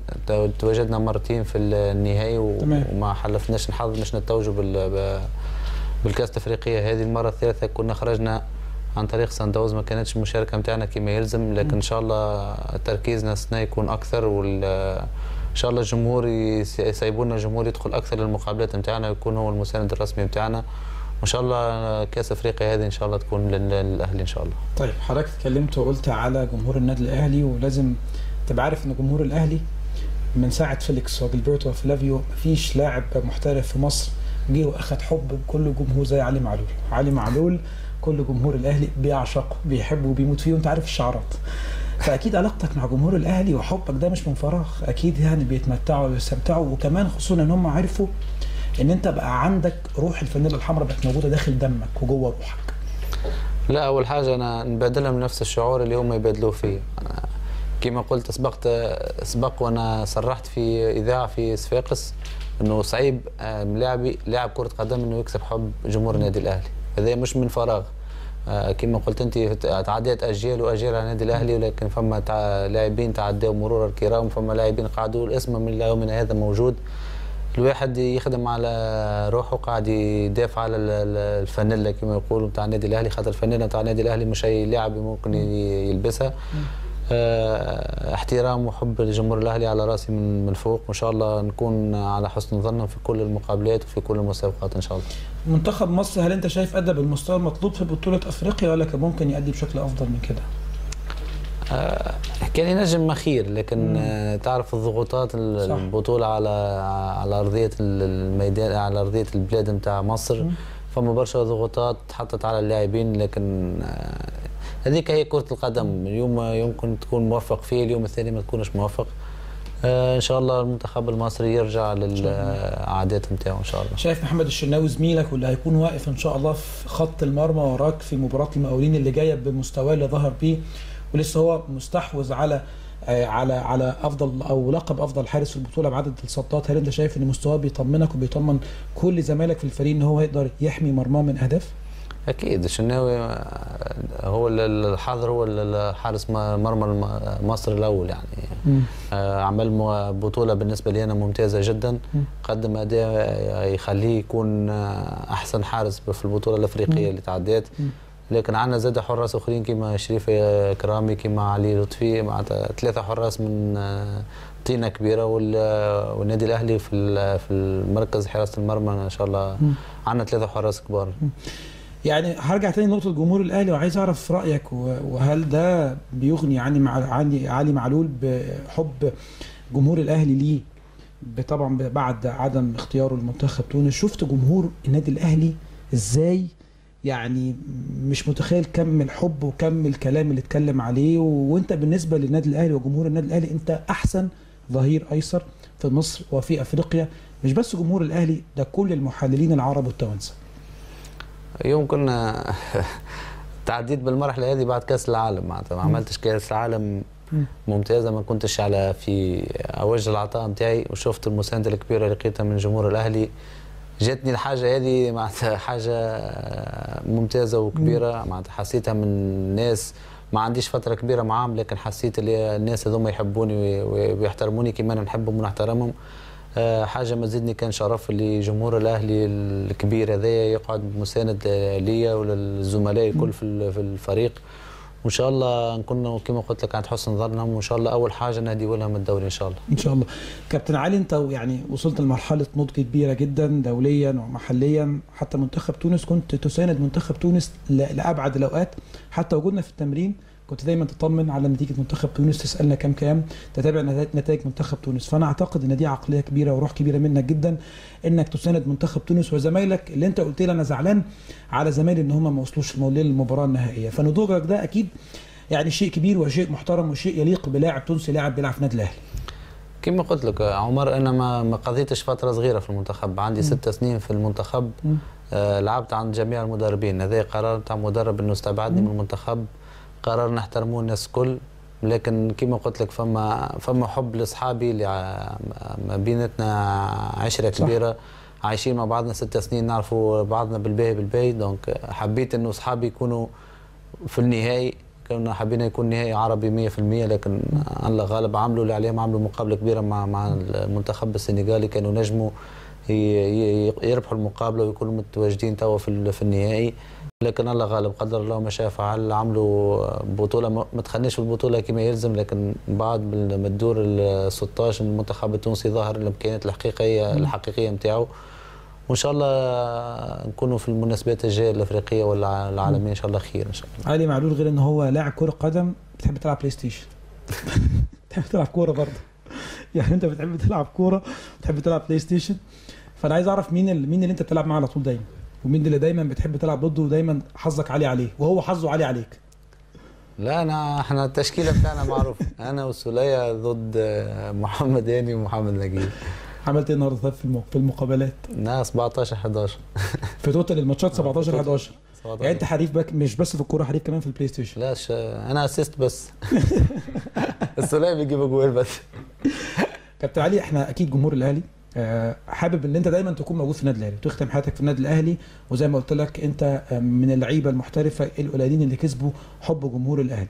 يعني عايز كلمة منك لجمهور الأهلي في الختام تحب تقول لهم إيه؟ داخلين على ماتشين مهمين جدا وبداية دوري جديد وبداية بطولة أفريقية جديدة. فكلمة من الكابتن علي معلول لجمهور النادي الأهلي. لا اول حاجة أنا نوجه لهم التحية الناس الكل ونقول لهم إن أنا راني نبادلهم نفس الشعور وال- والأحاسيس الكل. أنا زاد نحب الجمهور الأهلي بالرغم اللي ما عنديش مدة كبيرة معاهم لكن الحمد لله ال- المحبة ما بين الزوز متواجدة بالباهي. وإن شاء الله أول حاجة إن شاء الله كما قلت يكون الجمهور متواجد معنا في البطولة الإفريقية الجاية. وإن شاء الله يكونوا بأعداد كبيرة ويسمحوا لهم إن شاء الله باش يجونا بأعداد كبيرة خاطر هم اللي يكونوا الدافع المعنوي بتاعنا. أول حاجة زاد إن شاء الله نهديه لهم الدوري هذا نهار 28 إن شاء الله الناس كل وجمهور النادي الأهلي الكل يكون فرحان. ومن بعد ال- السنة الجاية إن شاء الله كل الألقاب اللي موجودين فيها إن شاء الله نحاولوا نتوجوا بها إن شاء الله. أشكرك كابتن شكرا جزيلا وأسفين بقى على الاطاله لا حبيبي. تسلم لي حتى خليك حبيبي. كنا مع حضراتكم مع نجم النادي الأهلي ونجم الجبهة اليسرى مش بس في مصر في أفريقيا الكابتن علي معلول ودايما موجود موجودين مع حضراتكم على قناة النادي الأهلي في الحوارات الحصرية من مقر بعثه الإقامة في إسبانيا. شكرا لحضراتكم ودايما نشوفكم على ألف خير. شكرا للزميل عمر ربيع ياسين أستاذ محمد. عمر وعلي معلول بيطمئنوك على مستوى الأهلي إن شاء الله في الأسبوع اللي باقي من الدوري. والله هقول لحضرتك على حاجة يمكن بس مش عايزين الناس يزعلوا مننا من الفرق التانية. طب هو أنا- هو ما بقاش هو- فارق مع الأهلي. هو أنا هيتاح لي السؤال العكسي ولا لا؟ لا. لا مش هيتاح. انت تتلقى النتيجة بس. هو عايز أقول لحضرتك على حاجة يا أستاذ إبراهيم هو يعني بعيد عن المنافسة طبعا ده المنافسة شيء مشروع وشيء يعني آه، شريف الأستاذ عماد يعني قال لك إن أنا اضطريت إن أنا أشجع الأهلي وهو في الخليج. وإحنا أوقات برضو بنضطر نشجع هو الزمالك يعني. عشان ينام مبسوط إنما- شوية. لا هو قال حتة إحنا ما وقفناش عندها إن قال لك الفرق بينعكس نتيجة الفرقة على الجمهور بتاعها. صحيح. فإحنا مش عايزين نسأله على أخبار صحته صحيح. دي ما خلاص الإجابة صحيح. تبقى معروفة يعني. إنما هو ال- الأهلي إحنا بنبقى مطمنين إحنا عليه. بننافس على الدوري ويعني بينا وبين بعض نقطة ولو فزنا على الأهلي هناخد الدوري. يا فندم إحنا نتمنى إن بس تاخدوا يعني- الدوري طبعا آه ده يعني- يعني طبعاً. الأهلي مفيش مكان في الدولاب دلوقتي أنا بنتكلم بعد الماتش بعد الماتش. مكان في فالاستاذ إبراهيم أنا عايز أقول على حاجة ده لو آه للأسف يعني لو كانت اتطبقت في المنتخب كان الموضوع فرق كبير جدا. حاجتين آه اللي إحنا دايما بعض الفرق وبعض الناس بيزعلوا منها لما بيتكلم على إن الأهلي وروح الفانيلا الحمراء دي حقيقة ما فيهاش مبالغة خالص. صحيح. إحنا بنشوف الأهلي بيبقى فرق ضعيفة وفي أضعف حالاته وبيدخل ياخد بطولات ما حدش بيبقى متوقعها بإرادة النصر بتاعته. بالظبط كده. آه. الإرادة النصر دي يا أستاذ إبراهيم هي جزء من اللي قاله الأستاذ عماد من الانتماء ومن الروح الوطنية. الف... اللاعب نازل عنده انتماء للفانيلا الحمراء عنده انتماء لفريقه. فأنت بتنزل لما أنا مش متخيل إن لاعب بينزل بيمثل منتخب مصر. والبطولة بتتلعب في ملعبنا والجمهور زي ما قال الأستاذ عماد الناس نايمة وبتحلم بالبطولة. اتكسرنا. ما خلينا نتكلم بواقع يعني. الهزيمة مش هزيمة بطولة. ما إحنا ياما دخلنا بطولات وطلعنا من بدري وعملنا. اتكسرنا لكن فعلا. إحنا فعلا البطولة دي إحنا حسينا بانكسار. في وقت إحنا يعني روحنا المعنوية كمصريين الحمد لله عالية جدا. بندخل في تحديات كبيرة وبنكسبها فما كانش ينفع. لكن انت لو جيت- لو جيت بصيت وانت حضرتك بتكلمني عن النادي الأهلي وأنا هاخد يا أستاذ إبراهيم موقف وهقيس عليه. معلش مش هدخل في تفاصيله بس موقف عمرو ورده واتحاد الكرة خد قرار تربوي اعتبرناه كده وقتها ووقف عمرو ورده رجع في قراره. أنا هرجع 24 بحضرتك ساعة بس. بالظبط كده. أنا هرجع بحضرتك للقرار التاريخي اللي الله يرحمه المايسترو الكابتن صالح سليم. كلنا كنا صغيرين. وكنا يعني العشق الأهلي ده من زمان وهو في دمنا وبقينا زعلانين من الكابتن صالح لما وقف فريق بحجم أسماء كبيرة جدا وقتها 85. وطلع بالاشبال بالكامل. وكان الماتش اللي جاي مع مين؟ مع الزمالك. وكانت المنافسة ساعتها في أشدها أيوة. وكلنا بقينا متضايقين وزعلانين إحنا هندخل نخسر قبل أنا فاكر. ساعتها وأنا آه. عيل صغير وقريت تصريح بتاع الكابتن صالح في الأخبار إن ساعتها إن أهل ال- مبادئ الأهلي أهم من إن أنا أخسر بطولة أو أخسر ماتش. اللي حصل إيه يا أستاذ إبراهيم في الماتش اللي كان بعديه. فازوا على الزمالك 3 2 على ما. أتذكر. ده عشان خاطر أنت بتعمل كسبت. الماده وكسبت الماتش. بالظبط كده. فده ال ال ال ده ما كانش موجود عند المنتخب ما كانش عندهم وعي. يعني إيه؟ أنت بتمثل مصر؟ إحنا شفنا أداء. طبعا المدرب طبعا يتحمل جزء كبير وحضرتك طبعا تقدر ت- ت- تتكلم في الموضوع ده كلام كتير جدا. إنما أنا حتى لو المدرب آه يعني مش عايز اتكلم على الخطه لكن في وجود في ملعب والجمهور واستاد القاهرة والجمهور بدأ يرجع للملاعب تاني والناس اللي في التليف... اللي في النوادي وفي الميادين وفي البيوت كله مستني إن هم يفوزوا ويبقى الأداء بالشكل ده. لا إحنا طبعا ساعتها يعني آه لازم وقفة ولازم حساب ولازم نرجع من الأول وجديد ونشوف يا أخي أنتوا اتكلمتوا على كأس ال- العالم وعلى فريق الكبر على الأقل كنا إحنا مش راضيين على الأداء بس كان في خطة. يعني كان في شكل شكل دفاعي ما كناش راضيين هو عنه. شكل. بالظبط كان في شكل. آه. آه. لكن انت نازل ده لا في شكل ولا في خطة ولا في أي حاجة خالص ولا في روح عند اللعيبة. طبعا ده يعني آه، ما أعتقدش إن ده موجود في الأهلي وأتمنى إن شاء الله ما يبقاش موجود في أي فرقة مصرية تانية يعني. أستاذ عماد الأستاذ محمد بيتكلم عن وجوبية الحساب. وأنا أعلم إنه كان الكل بينتظر انتهاء البطولة والبطولة خلاص الجمعة تنتهي. شكل الحساب في وجهة نظرك كيف يكون؟ يعني اتحاد الكورة طلب منه آه، تقديم الاستقالة وقدم بها المجلس. ماذا بعد؟ تمام. ده هرجع تاني للكلام الخاص بآلية الحساب. أيوه. ال- إزاي نتعلم حاجة عشان ما نكررش أنت عارف الحاجة الأسطورة اليونانية صخره آه، يعني آه، أو مأساة سيزيف الراجل اللي الآلهة اليونانية غضبت عليه فبيطلع شايل الصخرة من الأسفل التل إلى القمة المدببة فتقع منه من فوق فينزل تاني. فيعيد الكرة لعنة أبدية. فإحنا للأسف الشديد الآلية اللي بنشتغل بيها في الرياضة من فترة طويلة جدا وفي بعض القطاعات بنفس الطريقة. إحنا محتاجين أتصور إنه حد متخصص تاني النيابة والقضاء يحاسب الفاسدين أو أي حد عنده شبهة فساد حد سرق حد زور حد ما أعرفش خد تذاكر كل ده حسابه على النيابة العامة والقضاء ويوقع بهم أشد العقاب عشان يبقوا عبرة لأي حد يجي بعدهم. فيما يتعلق بالكورة أنا بجيب لجنة متخصصة بتشكل من شيوخ المهنة خبراء التدريب الكبار لاعبين مشهود لهم بالكفاءة. لجنه بتم- تمثل كل ألوان الطيف ال- ال- الرياضي المصري وتقعد وبتقول والله لماذا فشلنا. وبتحط توصيات التوصيات دي يطبقها اتحاد الكورة. أنا مش هاجي يعني اللعيب اللي هو مش عندوش شرف أو قدرة على انتماء لمصر مش مش هحبسه إحنا جربنا حكاية الحبس دي مع آه، دول أفريقية عملت آه، معرفش حبستهم وقصي وعدي في العراق آه، كانوا بينكلوا باللعيبة. بينكلوا وسجنوهم بس هذا النوع من الحساب عمل إيه؟ الطريقة دي دمرت الدول نفسها مش بس دمرت الرياضة صحيح وقيل عن يعني مما يروى أنا ما أعرفش مدى صحتها إنه الدعاية في كوريا الشمالية، كوريا الشمالية ما كانتش شاركت في كأس العالم اللي هو قبل ده اللي كان في البرازيل. يقال إنه آه، الدعاية قالت إنه فريقنا سيقابل اليوم البرازيل في الدور قبل النهائي. البرازيل كانت اتغلبت 7-1 من ألمانيا وكوريا الشمالية أساسا. أيوه ربما تكون دعاية مضادة طبعاً. من كوريا الجنوبية صحيح، صحيح. ماشي لكن الفكرة فكرة ال ال ال ال إن أنا هحلق له زلبطه ولا هسجنه مش هي الصح اللعيب اللي مش مستعد يشارك ويمثل مصر كويس أبعده بس إزاي أنا اجهزه التجهيز الصح؟ الطريقة اللي عملها حسن شحاتة أنا مختلف شوية الكرة حكاية الفانله الحمراء مع كل التقدير ليكم وللأهلي أو فانله البيضاء ماشي؟ مش هي بس زي زمان لأنه زمان كان الفريق الأهلي والزمالك كلهم أهلي وكلهم زمالك وبيستمروا في الأهلي وفي الزمالك ويندر إنه حد كان ينتقل من فريق لفريق. انت النهارده آه، جريزمان كان بيلعب في أتلتيكو مدريد امبارح هيلعب بكرة مع برشلونة. وشفنا لعيبة كتيرة جدا بتنتقل من الأهلي والزمالك ففكرة روح الفالنه بقت عايزة إعادة تعريف. لا، بمعنى هي بمعنى هي أنا أنا, أنا هوضح لك فكرتي. أنت طالما قبلت إنك أنت تدافع إنك تنتقل إلى فريق وتلعب معاه أنت تخلص له اخلاصا كاملا. بالظبط بالظبط بمعنى إنك أنت رحت ده اكل عيشك دي آه، آه، شغلتك ده آه، اللي أنت بتروح تقطع نفسك عشان تنجح في ده.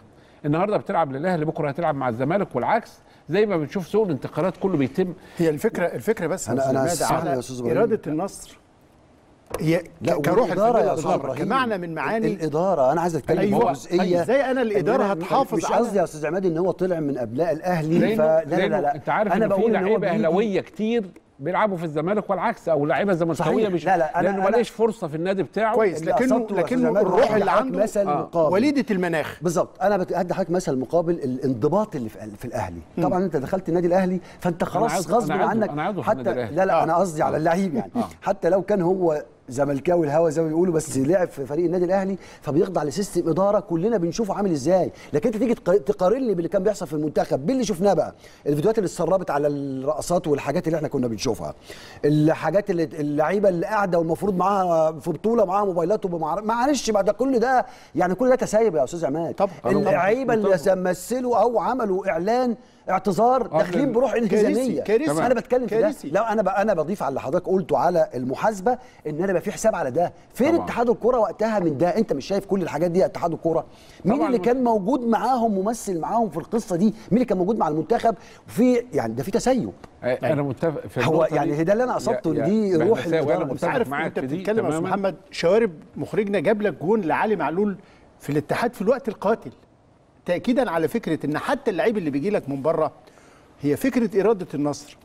أنت كمناخ و ك system عمل بتحافظ للاعيبتك على إنه أنت مش متقبل فكرة إن تمام. انت تخسر. متفق متفق عارف معاك. عارف لائحة النادي الأهلي ربما لا تعطي اللاعبين مكافآت على التعادل. واخد بالك؟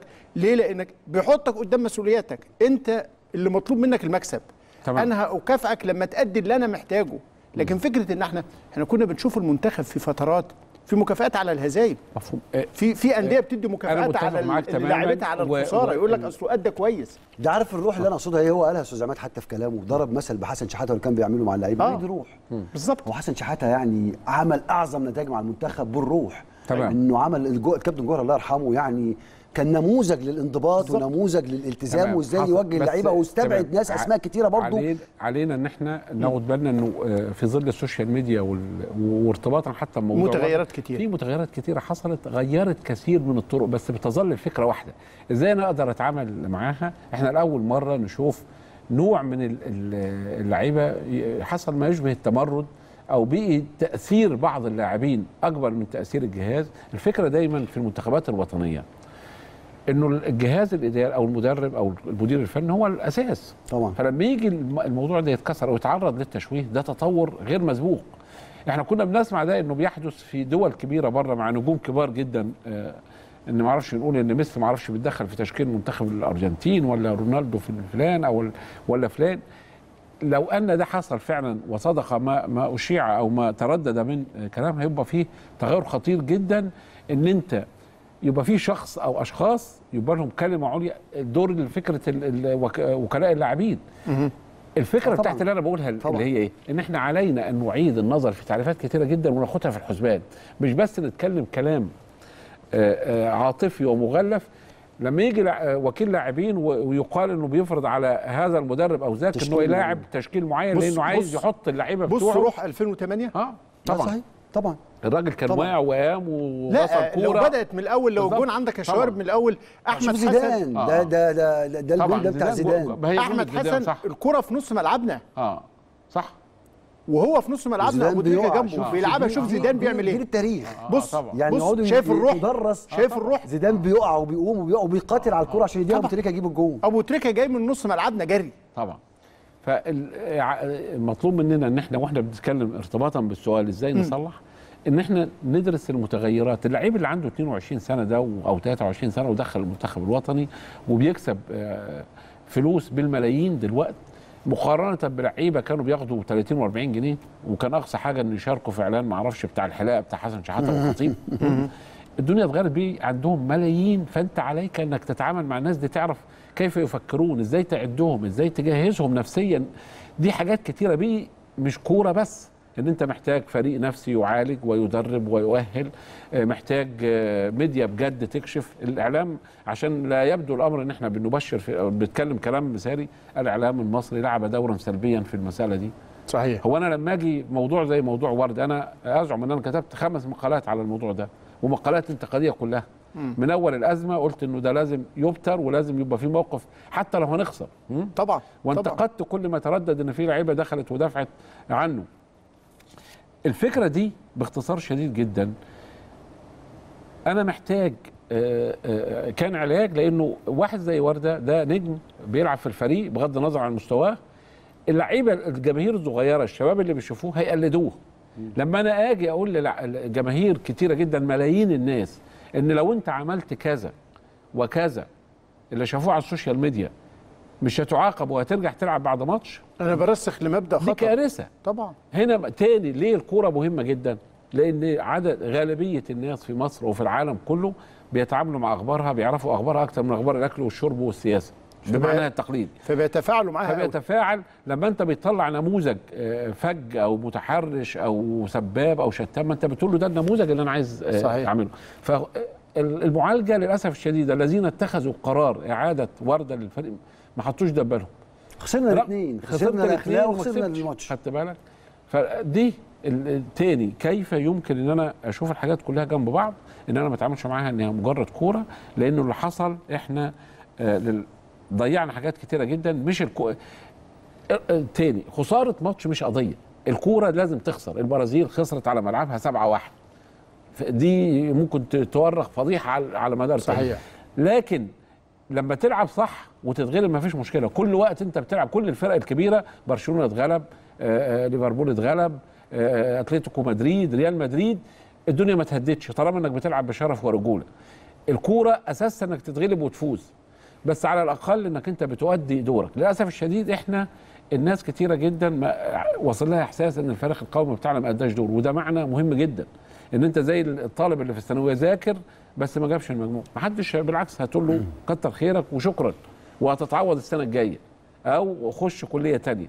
لكن لما تنزل وأنت كل الجماهير شالتك فوق العنان رفعتك لعنان السماء واديتك كل شيء ثم تأتي وتلعب بهذه الطريقة المتخاذلة اللي ما فيهاش أي روح لا وجب هنا زي ما أنت هي دي فكرة الكورة دلوقتي. أنت خدت آه، آه، كريدت ومكانة وهيبة وسمعة وشهرة. الحساب بتاعك مش هيكون حساب آه، عادي. ولذلك أنا هرجع تاني لحتة ثمن مصر أنا آسف.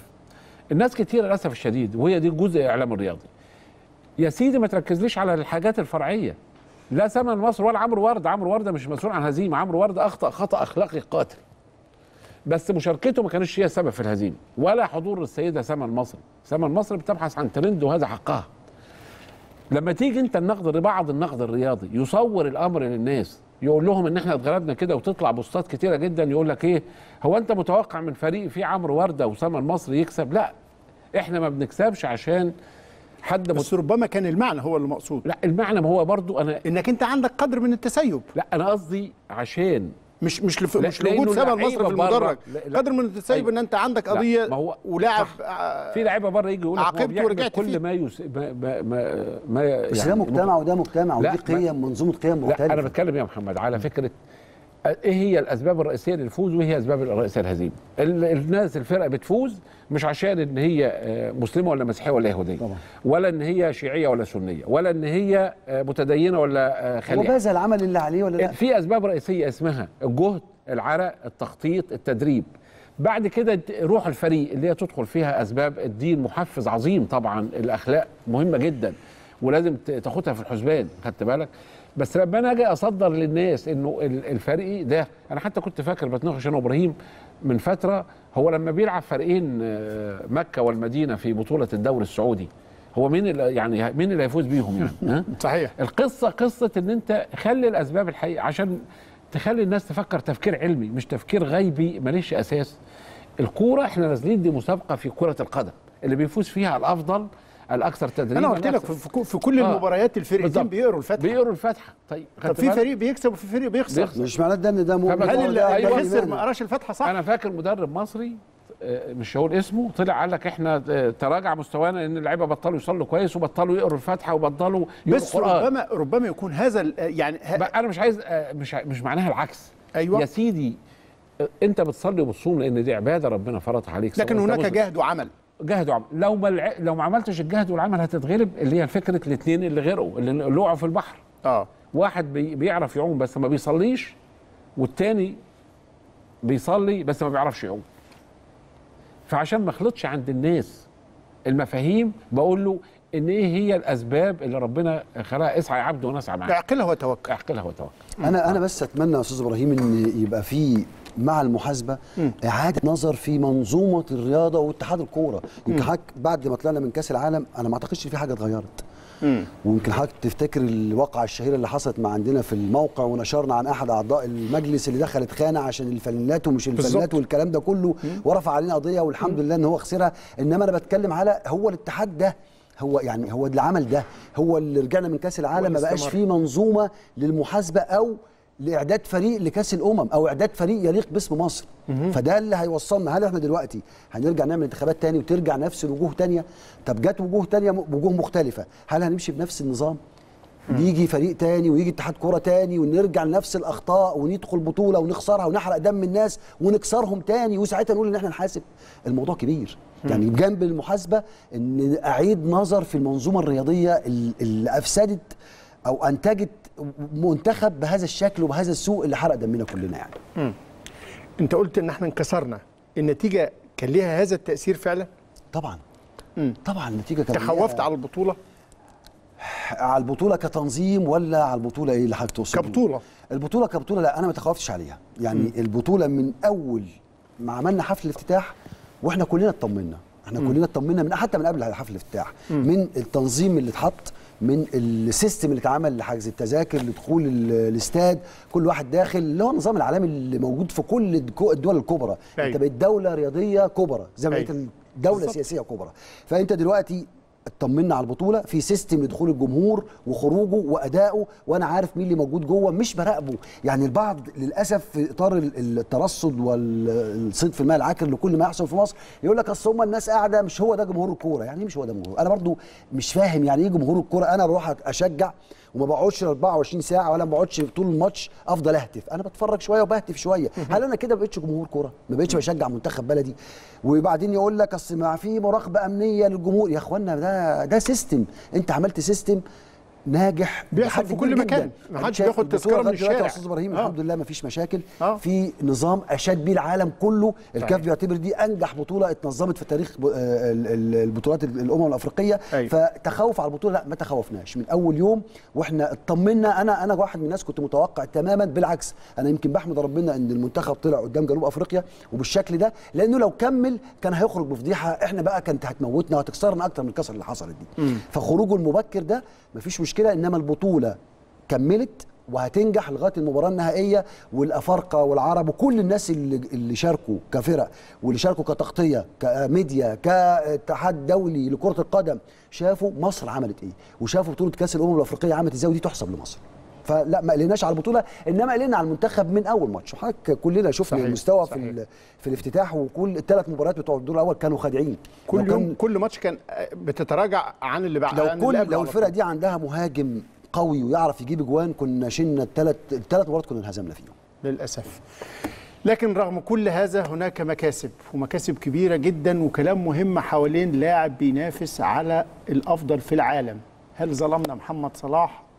ولا هو اللي ظلمنا بعد الفاصل.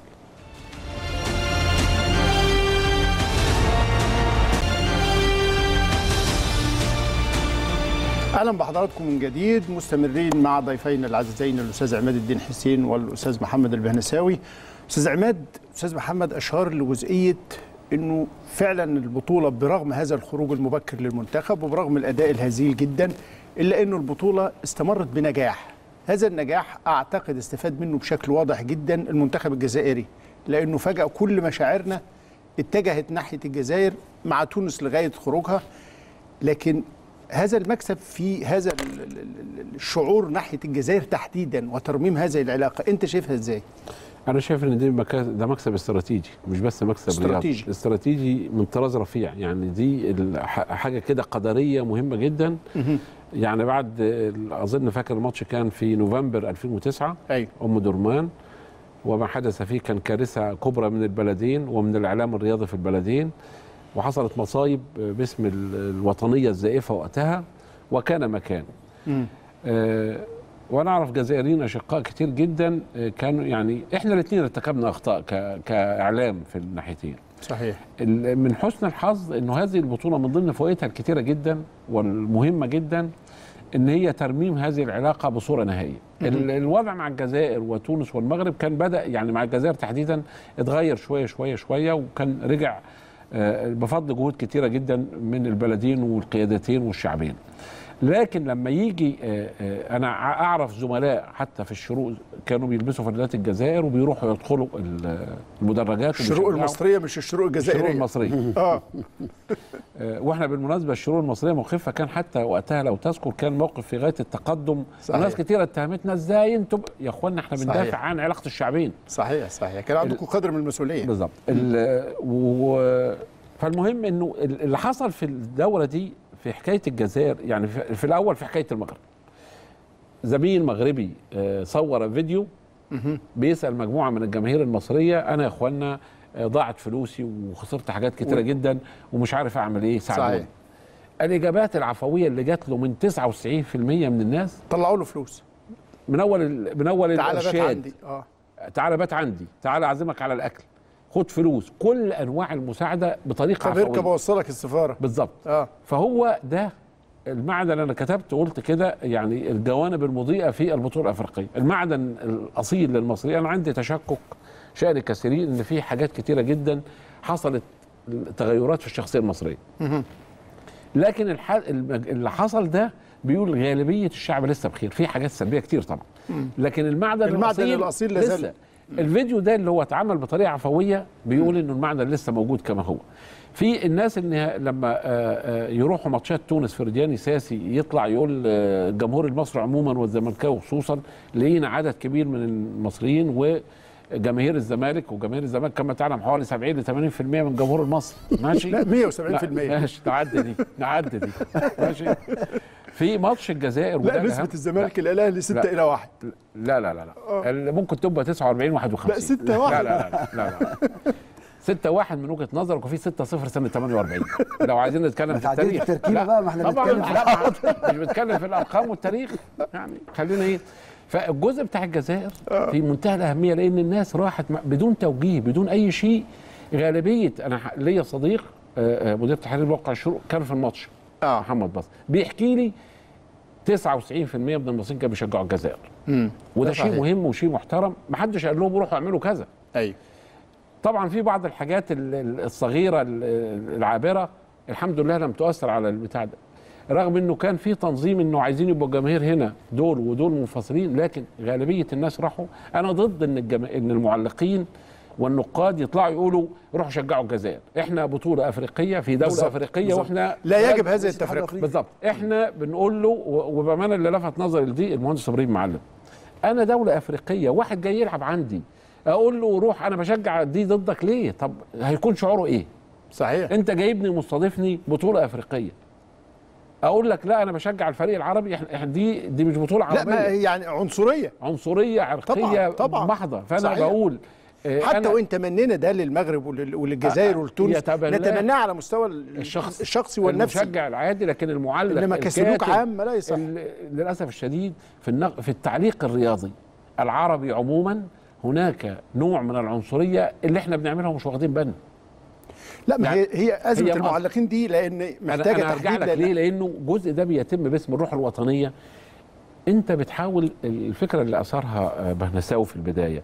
أنا بحاول أرجع لأفريقيا كمصر وبحاول أصلح الوضع وعندنا كان في اتهامات كتيرة جدا لينا إن إحنا بنتعالى عليهم وفوقيين وعنصريين وكنا بنعمل حاجات بدون قصد بتؤدي لده فإحنا بدأنا نصلح كثير من هذه الأخطاء. فلما تيجي أنت في بطوله والمظهر إحنا خد بالك أنت اسأل أي مصري أو أي أفريقي تعرف إيه عن مصري؟ هيقول لك الافارقه هيقول لك محمد صلاح. والمصريين هيقول لك تعرف إيه في الايبر هيقول لك عبيد بيليه أو ما أعرفش جورج وايا أو ما أعرفش مين. النجوم الكبار أو دروجبا. فلما أنا آجي أشتغل بالطريقة دي هوصل له المفهوم إن أنا عنصري ضده. طبعا. فأنا بتكلم هنا على إنه آه، نحن نشجع الجزائر أو المغرب بعواطفنا. بعواطفنا. بس وأنا بتكلم كدولة أو كإعلام لازم أبقى حريص على على دي. فإحنا حققنا في هذه البطولة رممنا كتير جدا من ال- ال- الحاجات. أنا أظن الشعب الجزائري كله وصلت له رسالة مهمة جدا.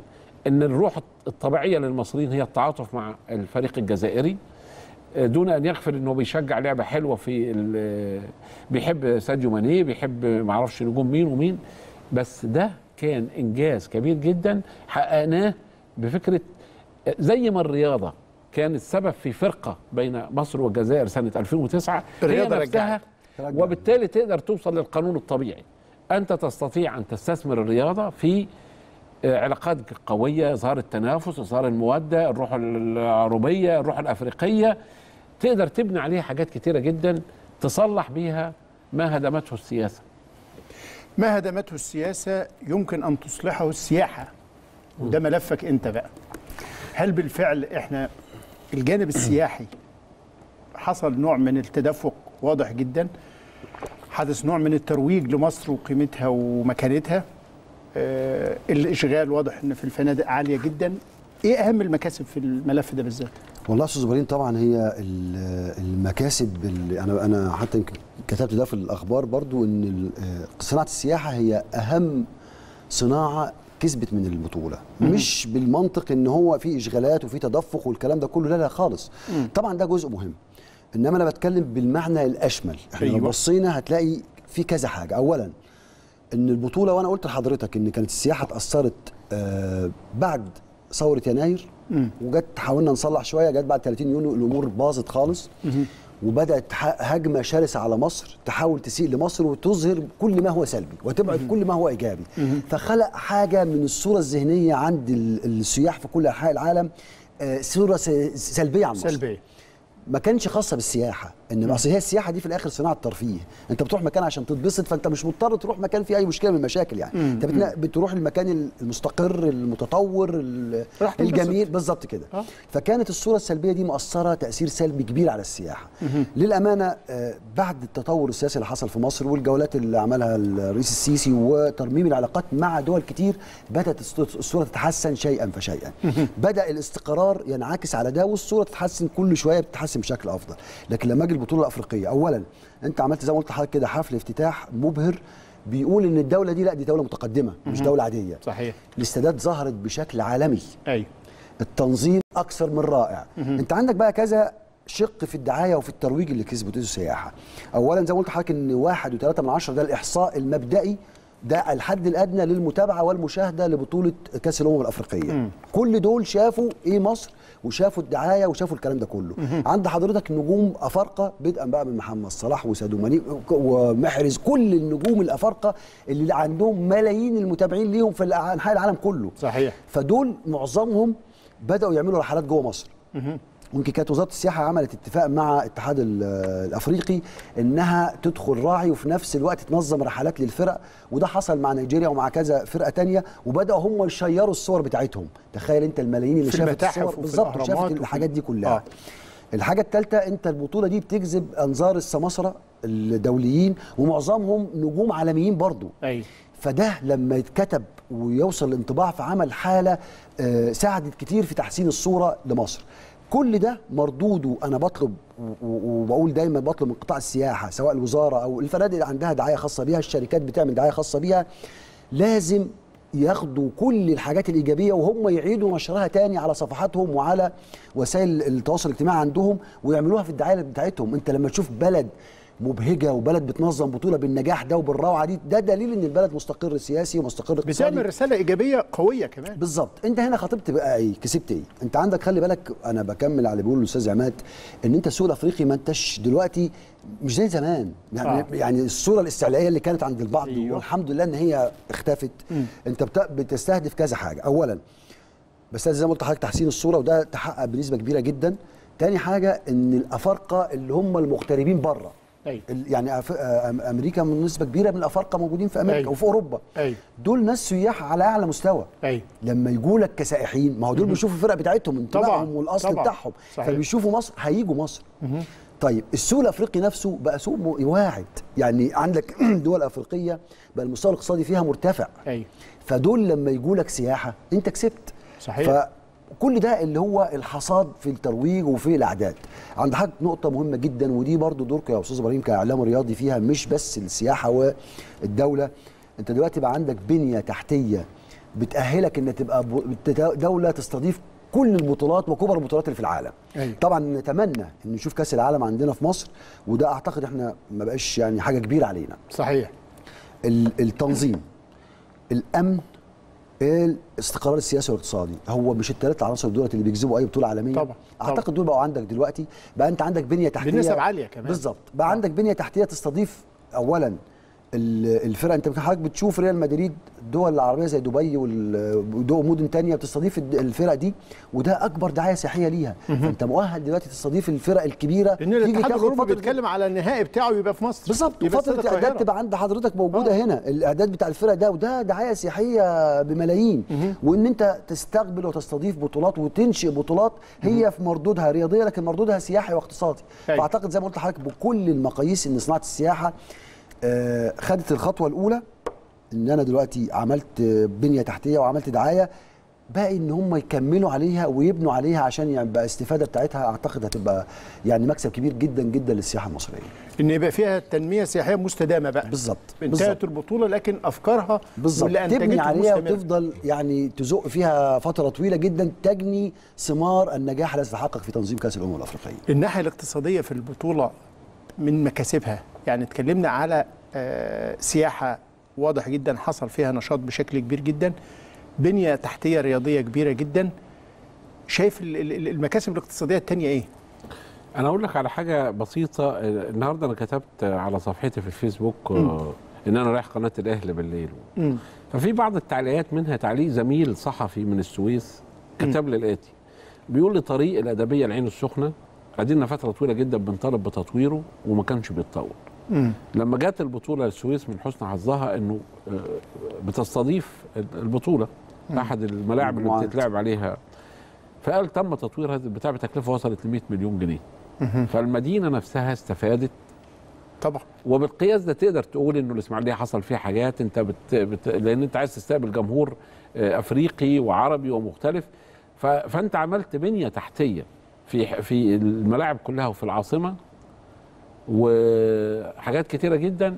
دي اسمها الحاجات الموازية اللي انت زي ما بتستضيف بطوله كبيرة فبتعمل ملاعب كبيرة بتعمل طرق كبيرة. ده جزء مهم جدا. الجزء الثاني الاقتصادي وأنا عودة كمان للي قاله آه، محمد هو أنت أهم حاجة في ده يعني هضيف على الجزء السياحي أنت فكرة السمعة في حاجات بفلوس وحاجات هتدفع مليارات عشان تعملها. أيوه. هو أنا لما بيجيني آه، رحلة صغيرة لواحد زي آه، ساديو ماني وتصور صورة ولا رياض محرز وده عنده أو زي أخونا بتاع آه، راموس. آه، راموس لما جه الغردقة. ونفاذ قبليه. والتويته اللي عملها. أنت لو لا دفعت لما له مورينيو يتصور تحت أيوة. سقف سفح الأهرامات. أنت لم أنت لو دفعت له آه، أنت عشان تعمل حملة إعلانية في الدول الأوروبية بتدفع دولارات كتيرة جدا جدا أو أي دولة. أستاذ عماد أنا آسف في المقاطعة. أسبانيا بعد اللي عمله راموس والبعض هاجم بتوع الراجل الاعمال كامل ابو علي المستضافه والكلام ده قال لك إزاي تجيب راموس وبتاع. ده كلام مكتوب، هو لا، أنا عارف. راموس كتب إن مصر بقت جزء من الكلام اللي مني، كتبه ده. أنت عارف إن أسبانيا من يومين ثلاثة بالظبط طلعت قرار بتخفيف حظر السفر عن سياحها لشرم الشيخ. طبيعي ما هو كان مردود لزيارة راموس. يعني الجون ده بتاع راموس. راموس. وجون جاب لنا بالظبط. آه، بالظبط كده. راموس وقبليه نجوم سينما كتير وقبليه أظن نفاس. في في أكتر من حد من ريال مدريد جه وقبلها مجموعة من. الفنانين آه. فأنت لما الناس دي تطلع تقول إن أنا جيت وقعدت فكل ما يقال عن عدم الاستقرار عن ما أعرفش الإرهاب لا بقول لك. أنا أهو فده جزء أنت لو دفعت المليارات مش هتعمله بهذا الشكل في في الجزء ده الجزء الثاني أنت بتبيع صورة آه الصورة دي إن مصر مستقرة آه، مصر الأمان في أعلى الأمان درجاته. كله الناس آه. بتمشي طبعا في صور سلبيه بعض الصور السلبية أتمنى إحنا نقضي عليها زي التسول وحاجات. أنا شفت مشهد في ميدان التحرير واحدة تونسية معدية واحدة من اللي ماسكين ورد دول بتصر تبيع لها أتمنى إن إحنا نقدر نقضي على الحاجات دي اللي هي بتفسد جزء من آه، الصورة. الفنادق اللي اتملت الطرق اللي اتعملت ال- ال- على المدى شركات البعيد. الطيران اللي اشتغلت. طبعا على المدى البعيد انت كسبان حاجات كتيرة جدا لكن وانت بترأس الاتحاد الأفريقي بتقول لهم إن أنا أقدر إن أنا أنظم أي حدث في أي آه وقت. وقت وبسهولة شديدة جدا بحكم إن أنت عندك بنية أساسية آه، مختلفة عن كل الدول الأفريقية. يعني لم يكن ينافسك أظن إلا دولة زي جنوب أفريقيا إلى حد ما دولة زي المغرب. لكن في النهاية لما جد الجد أنت اللي استضفت وأنت اللي عملت آه، ووقفت. إزاي تقدر المثل ده؟ إذا أنت كنت قادر على إنك تعمل ال- الحاجات دي في الوقت القياسي ده طب ما إحنا يا اخوانا نجربها في قطاعات أخرى. هو ده السؤال الكبير آه. اللي تركته البطولة. وكان إذا كنا بالظبط. نقدر فعلا نستطيع ننجز كل هذه المهمات الصعبة نقدر نعمل ده في كل ال- مجالاتنا. آه. يعني لعل ده يكون روح الكان اللي تستمر بعد كده. لكن مش عايزين نبعد عن البطولة وأهم حدث فيها بالنسبة لمنتخب مصر محمد صلاح. إزاي شفتوا نموذج محمد صلاح؟ والله هقول لحضرتك على حاجة. يمكن الأستاذ عماد وهو بيتكلم أشار لنقطة إن اللعيبة رينج الأعمار بتاعهم 22 سنة 25 سنة 27 سنة. عايز أقول لك إحنا أكبر متوسط أعمار في البطولة 29 سنة ونص ولم يحدث في بطولات وفقا لإحصائيات الكابتن فتحي نصير. لم يحدث لأي فريق في السنوات الأخيرة فاز ببطولة عالم أو بطولة أوروبا أو بطولة أفريقيا كان بهذا ال- زاد متوسط أعماره عن 26 سنة. إحنا 29 سنة ونص. مم.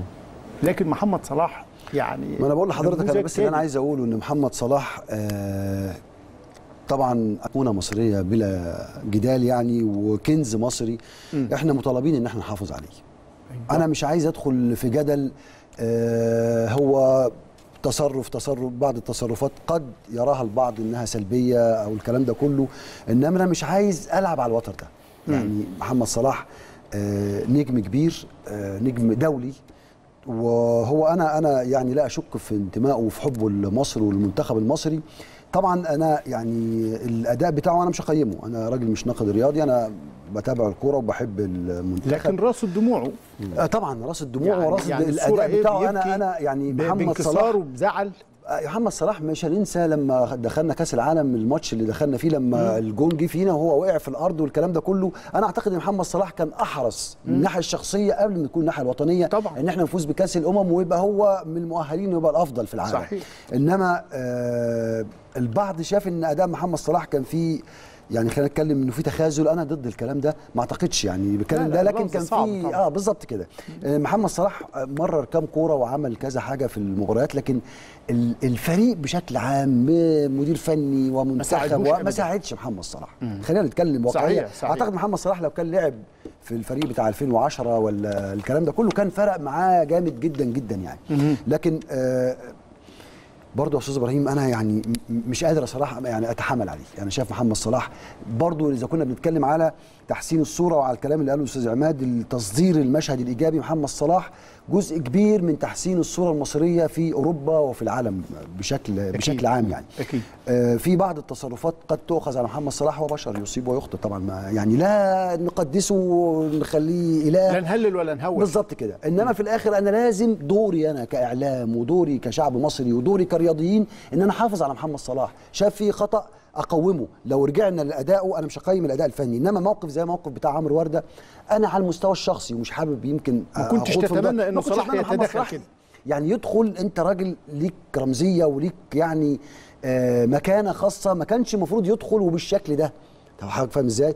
آه قبلها كان موقف تاني حصل إنما أنا برضو ضد إن أنا يعني آه زي ما قلت لحضرتك كده إن إحنا نقوم لو في خطأ يتقوم لكن دور كل ال ال الإعلام والرياضة وكل ده إن إحنا نحافظ على محمد صلاح وندفعه لقدام وأعتقد إن محمد صلاح خسر أكتر من المنتخب في البطولة دي. محتاجين نحتضن محمد صلاح عن كده شوية؟ طبعا. اللي أنا متفق مع معظم ما قاله بهنساوي. ال- إحنا محمد صلاح ده يعني الأمل بتاعتنا. مش يعني آه، نتمنى يبقى عندنا منه 10 15 20 بس إلى أن يحدث ده فإحنا مطالبين إن فعلا نحافظ عليه بكل ما نملك.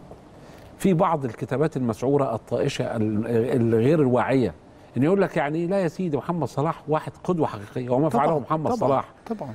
للصورة الذهنية عن مصر أنا حضرت مؤتمرات متخصصة على كيف تبيع الصورة الذهنية تبيع بمعنى الترويج. أيوه.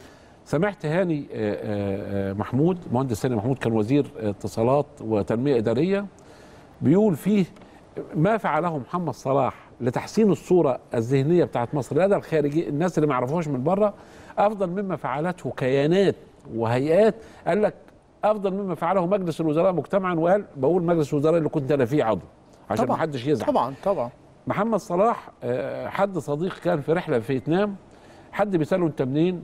قال له من مصر. ما يعرفش عن مصر يا محمد صلاح. طبعا ده عيب من الراجل ده لأنه مصر كبيرة وعظيمة و بس بيجي انت دلوقتي الكورة هي مجال التعريف في حتت كتيرة جدا.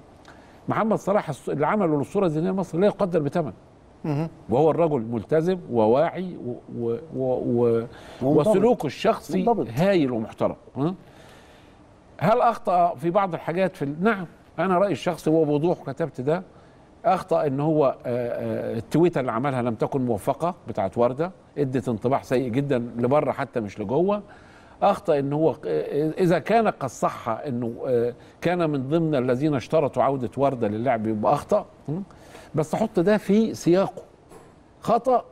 مش إن أنا في. تقدير الموقف. بالظبط في تقدير الموقف بس. وربما في جزء إنساني والسن الصغير وال... بالظبط، وعلى رأي البعض إنه ربما يكون قد فكر في مصر بالطريقة المصرية مش بالطريقة الإنجليزية. مش مطلوب إن أنا أترصد له ولا أصد له. أنا مش مش عايزه مش عايز أدمر أو أكسر ده. لا ده لأن إحنا فعلا محتاجين محمد صلاح ومحتاجين يبقى عندنا أكتر محمد صلاح عشان آه، آه، يبقى عندنا نماذج كتيرة جدا. لأنه ده هنا النموذج بتاعه عكس نموذج وردة. زي ما إحنا بنتكلم على وردة اللي عمل آه، حاجة سلبية محمد صلاح لما كل الناس يقولوا إن أنا عايز أبقى زي محمد صلاح. لما الشباب لما الحاجة بتاعت المخدرات? سمعت من آه، وزيرة التضامن في مؤتمر كان على إزاي ال- ال- آه، المسلسلات والدراما تعاملت مع المخدرات. محمد صلاح الحملة اللي عملها فرقت بالملايين. ناس صحيح. جدا. دي دي هنا دي القدوة اللي أنا عايزها. إن محمد صلاح لما يطلع يقول له ما تشربش مخدرات أنت أقوى من المخدرات. ها؟ شوف ده بيأدي رسالة إيه؟ وأنت محتاجه في إيه؟ في ده. والتاني اللي بيعمل إيه؟ لا مؤاخذة. ماشي؟ فهو ده ما نحتاجه. مش عايزين نحافظ على صلاح بكل الطرق ويعني مش ناقصين الروح السلبية اللي بتحصل دي. مش ناقصين الروح السلبية في جملة أخيرة حصاد الكامل. تأكيد لريادة وقدرة مصر. تأكيد لريادة وقدرة مصر. وانت مصر تستطيع من خلال الكان إن هي تنجح في حاجات كثيره جدا إذا اشتغلت بنفس الطريقة. دي. نعم. أعتقد حضراتكم آه، استمتعتوا بهذا الحوار المهم في النظر لملف الكان بشكل مختلف. شكل ينظر إلى المكاسب السياسية والمكاسب السياحية. شكل يؤكد على أن مصر التي أنجزت هذه البطولة الرائعة التي أبهرت العالم تؤكد من جديد على أنها عادت لتقود. وتستطيع أن تنجز الكثير من الملفات الأخرى المهمة في السنوات القادمة. أستاذ عماد شكرا جزيلا. شكرا أستاذ إبراهيم. ودايما مستمتعين بآرائك. ربنا يخليك. أشكرك. ويعني أنا كان المفروض أبتدي بكده. شكرا على هذه الاستضافة الجميلة ودوري للزمالك. عايز أقول لك في المشمش. لكن, لكن الأيام دي أيام المشمش. ماشي. ها. أستاذ محمد بن سامي كنا سعداء بحضورك النهارده. أنا اللي سعيد ولعلك طبعاً. عدلت الكف. لا. أنا اللي سعيد طبعا بوجودي في قناة الأهلي ومعاك يا أستاذ إبراهيم. ده شرف ليا يعني. شكرا جزيلا ليك وشكرا لحضراتكم على حسن المتابعة. دمتم للاهلي دائما ودام لكم الاهلي بإذن الله تعالى بطلا شامخا. والدوري في الجزيرة في الأسبوع اللي قادم إن شاء الله مهما قال الأستاذ عماد حسين. لكن بعد الحلقة مباشرة نسيبكم تستمتعوا بملخص لما حدث اليوم مع معسكر الاهلي في أسبانيا المباراة الودية والتقسيمه اللي جرت في ختام المعسكر. وتصبحوا على ألف خير.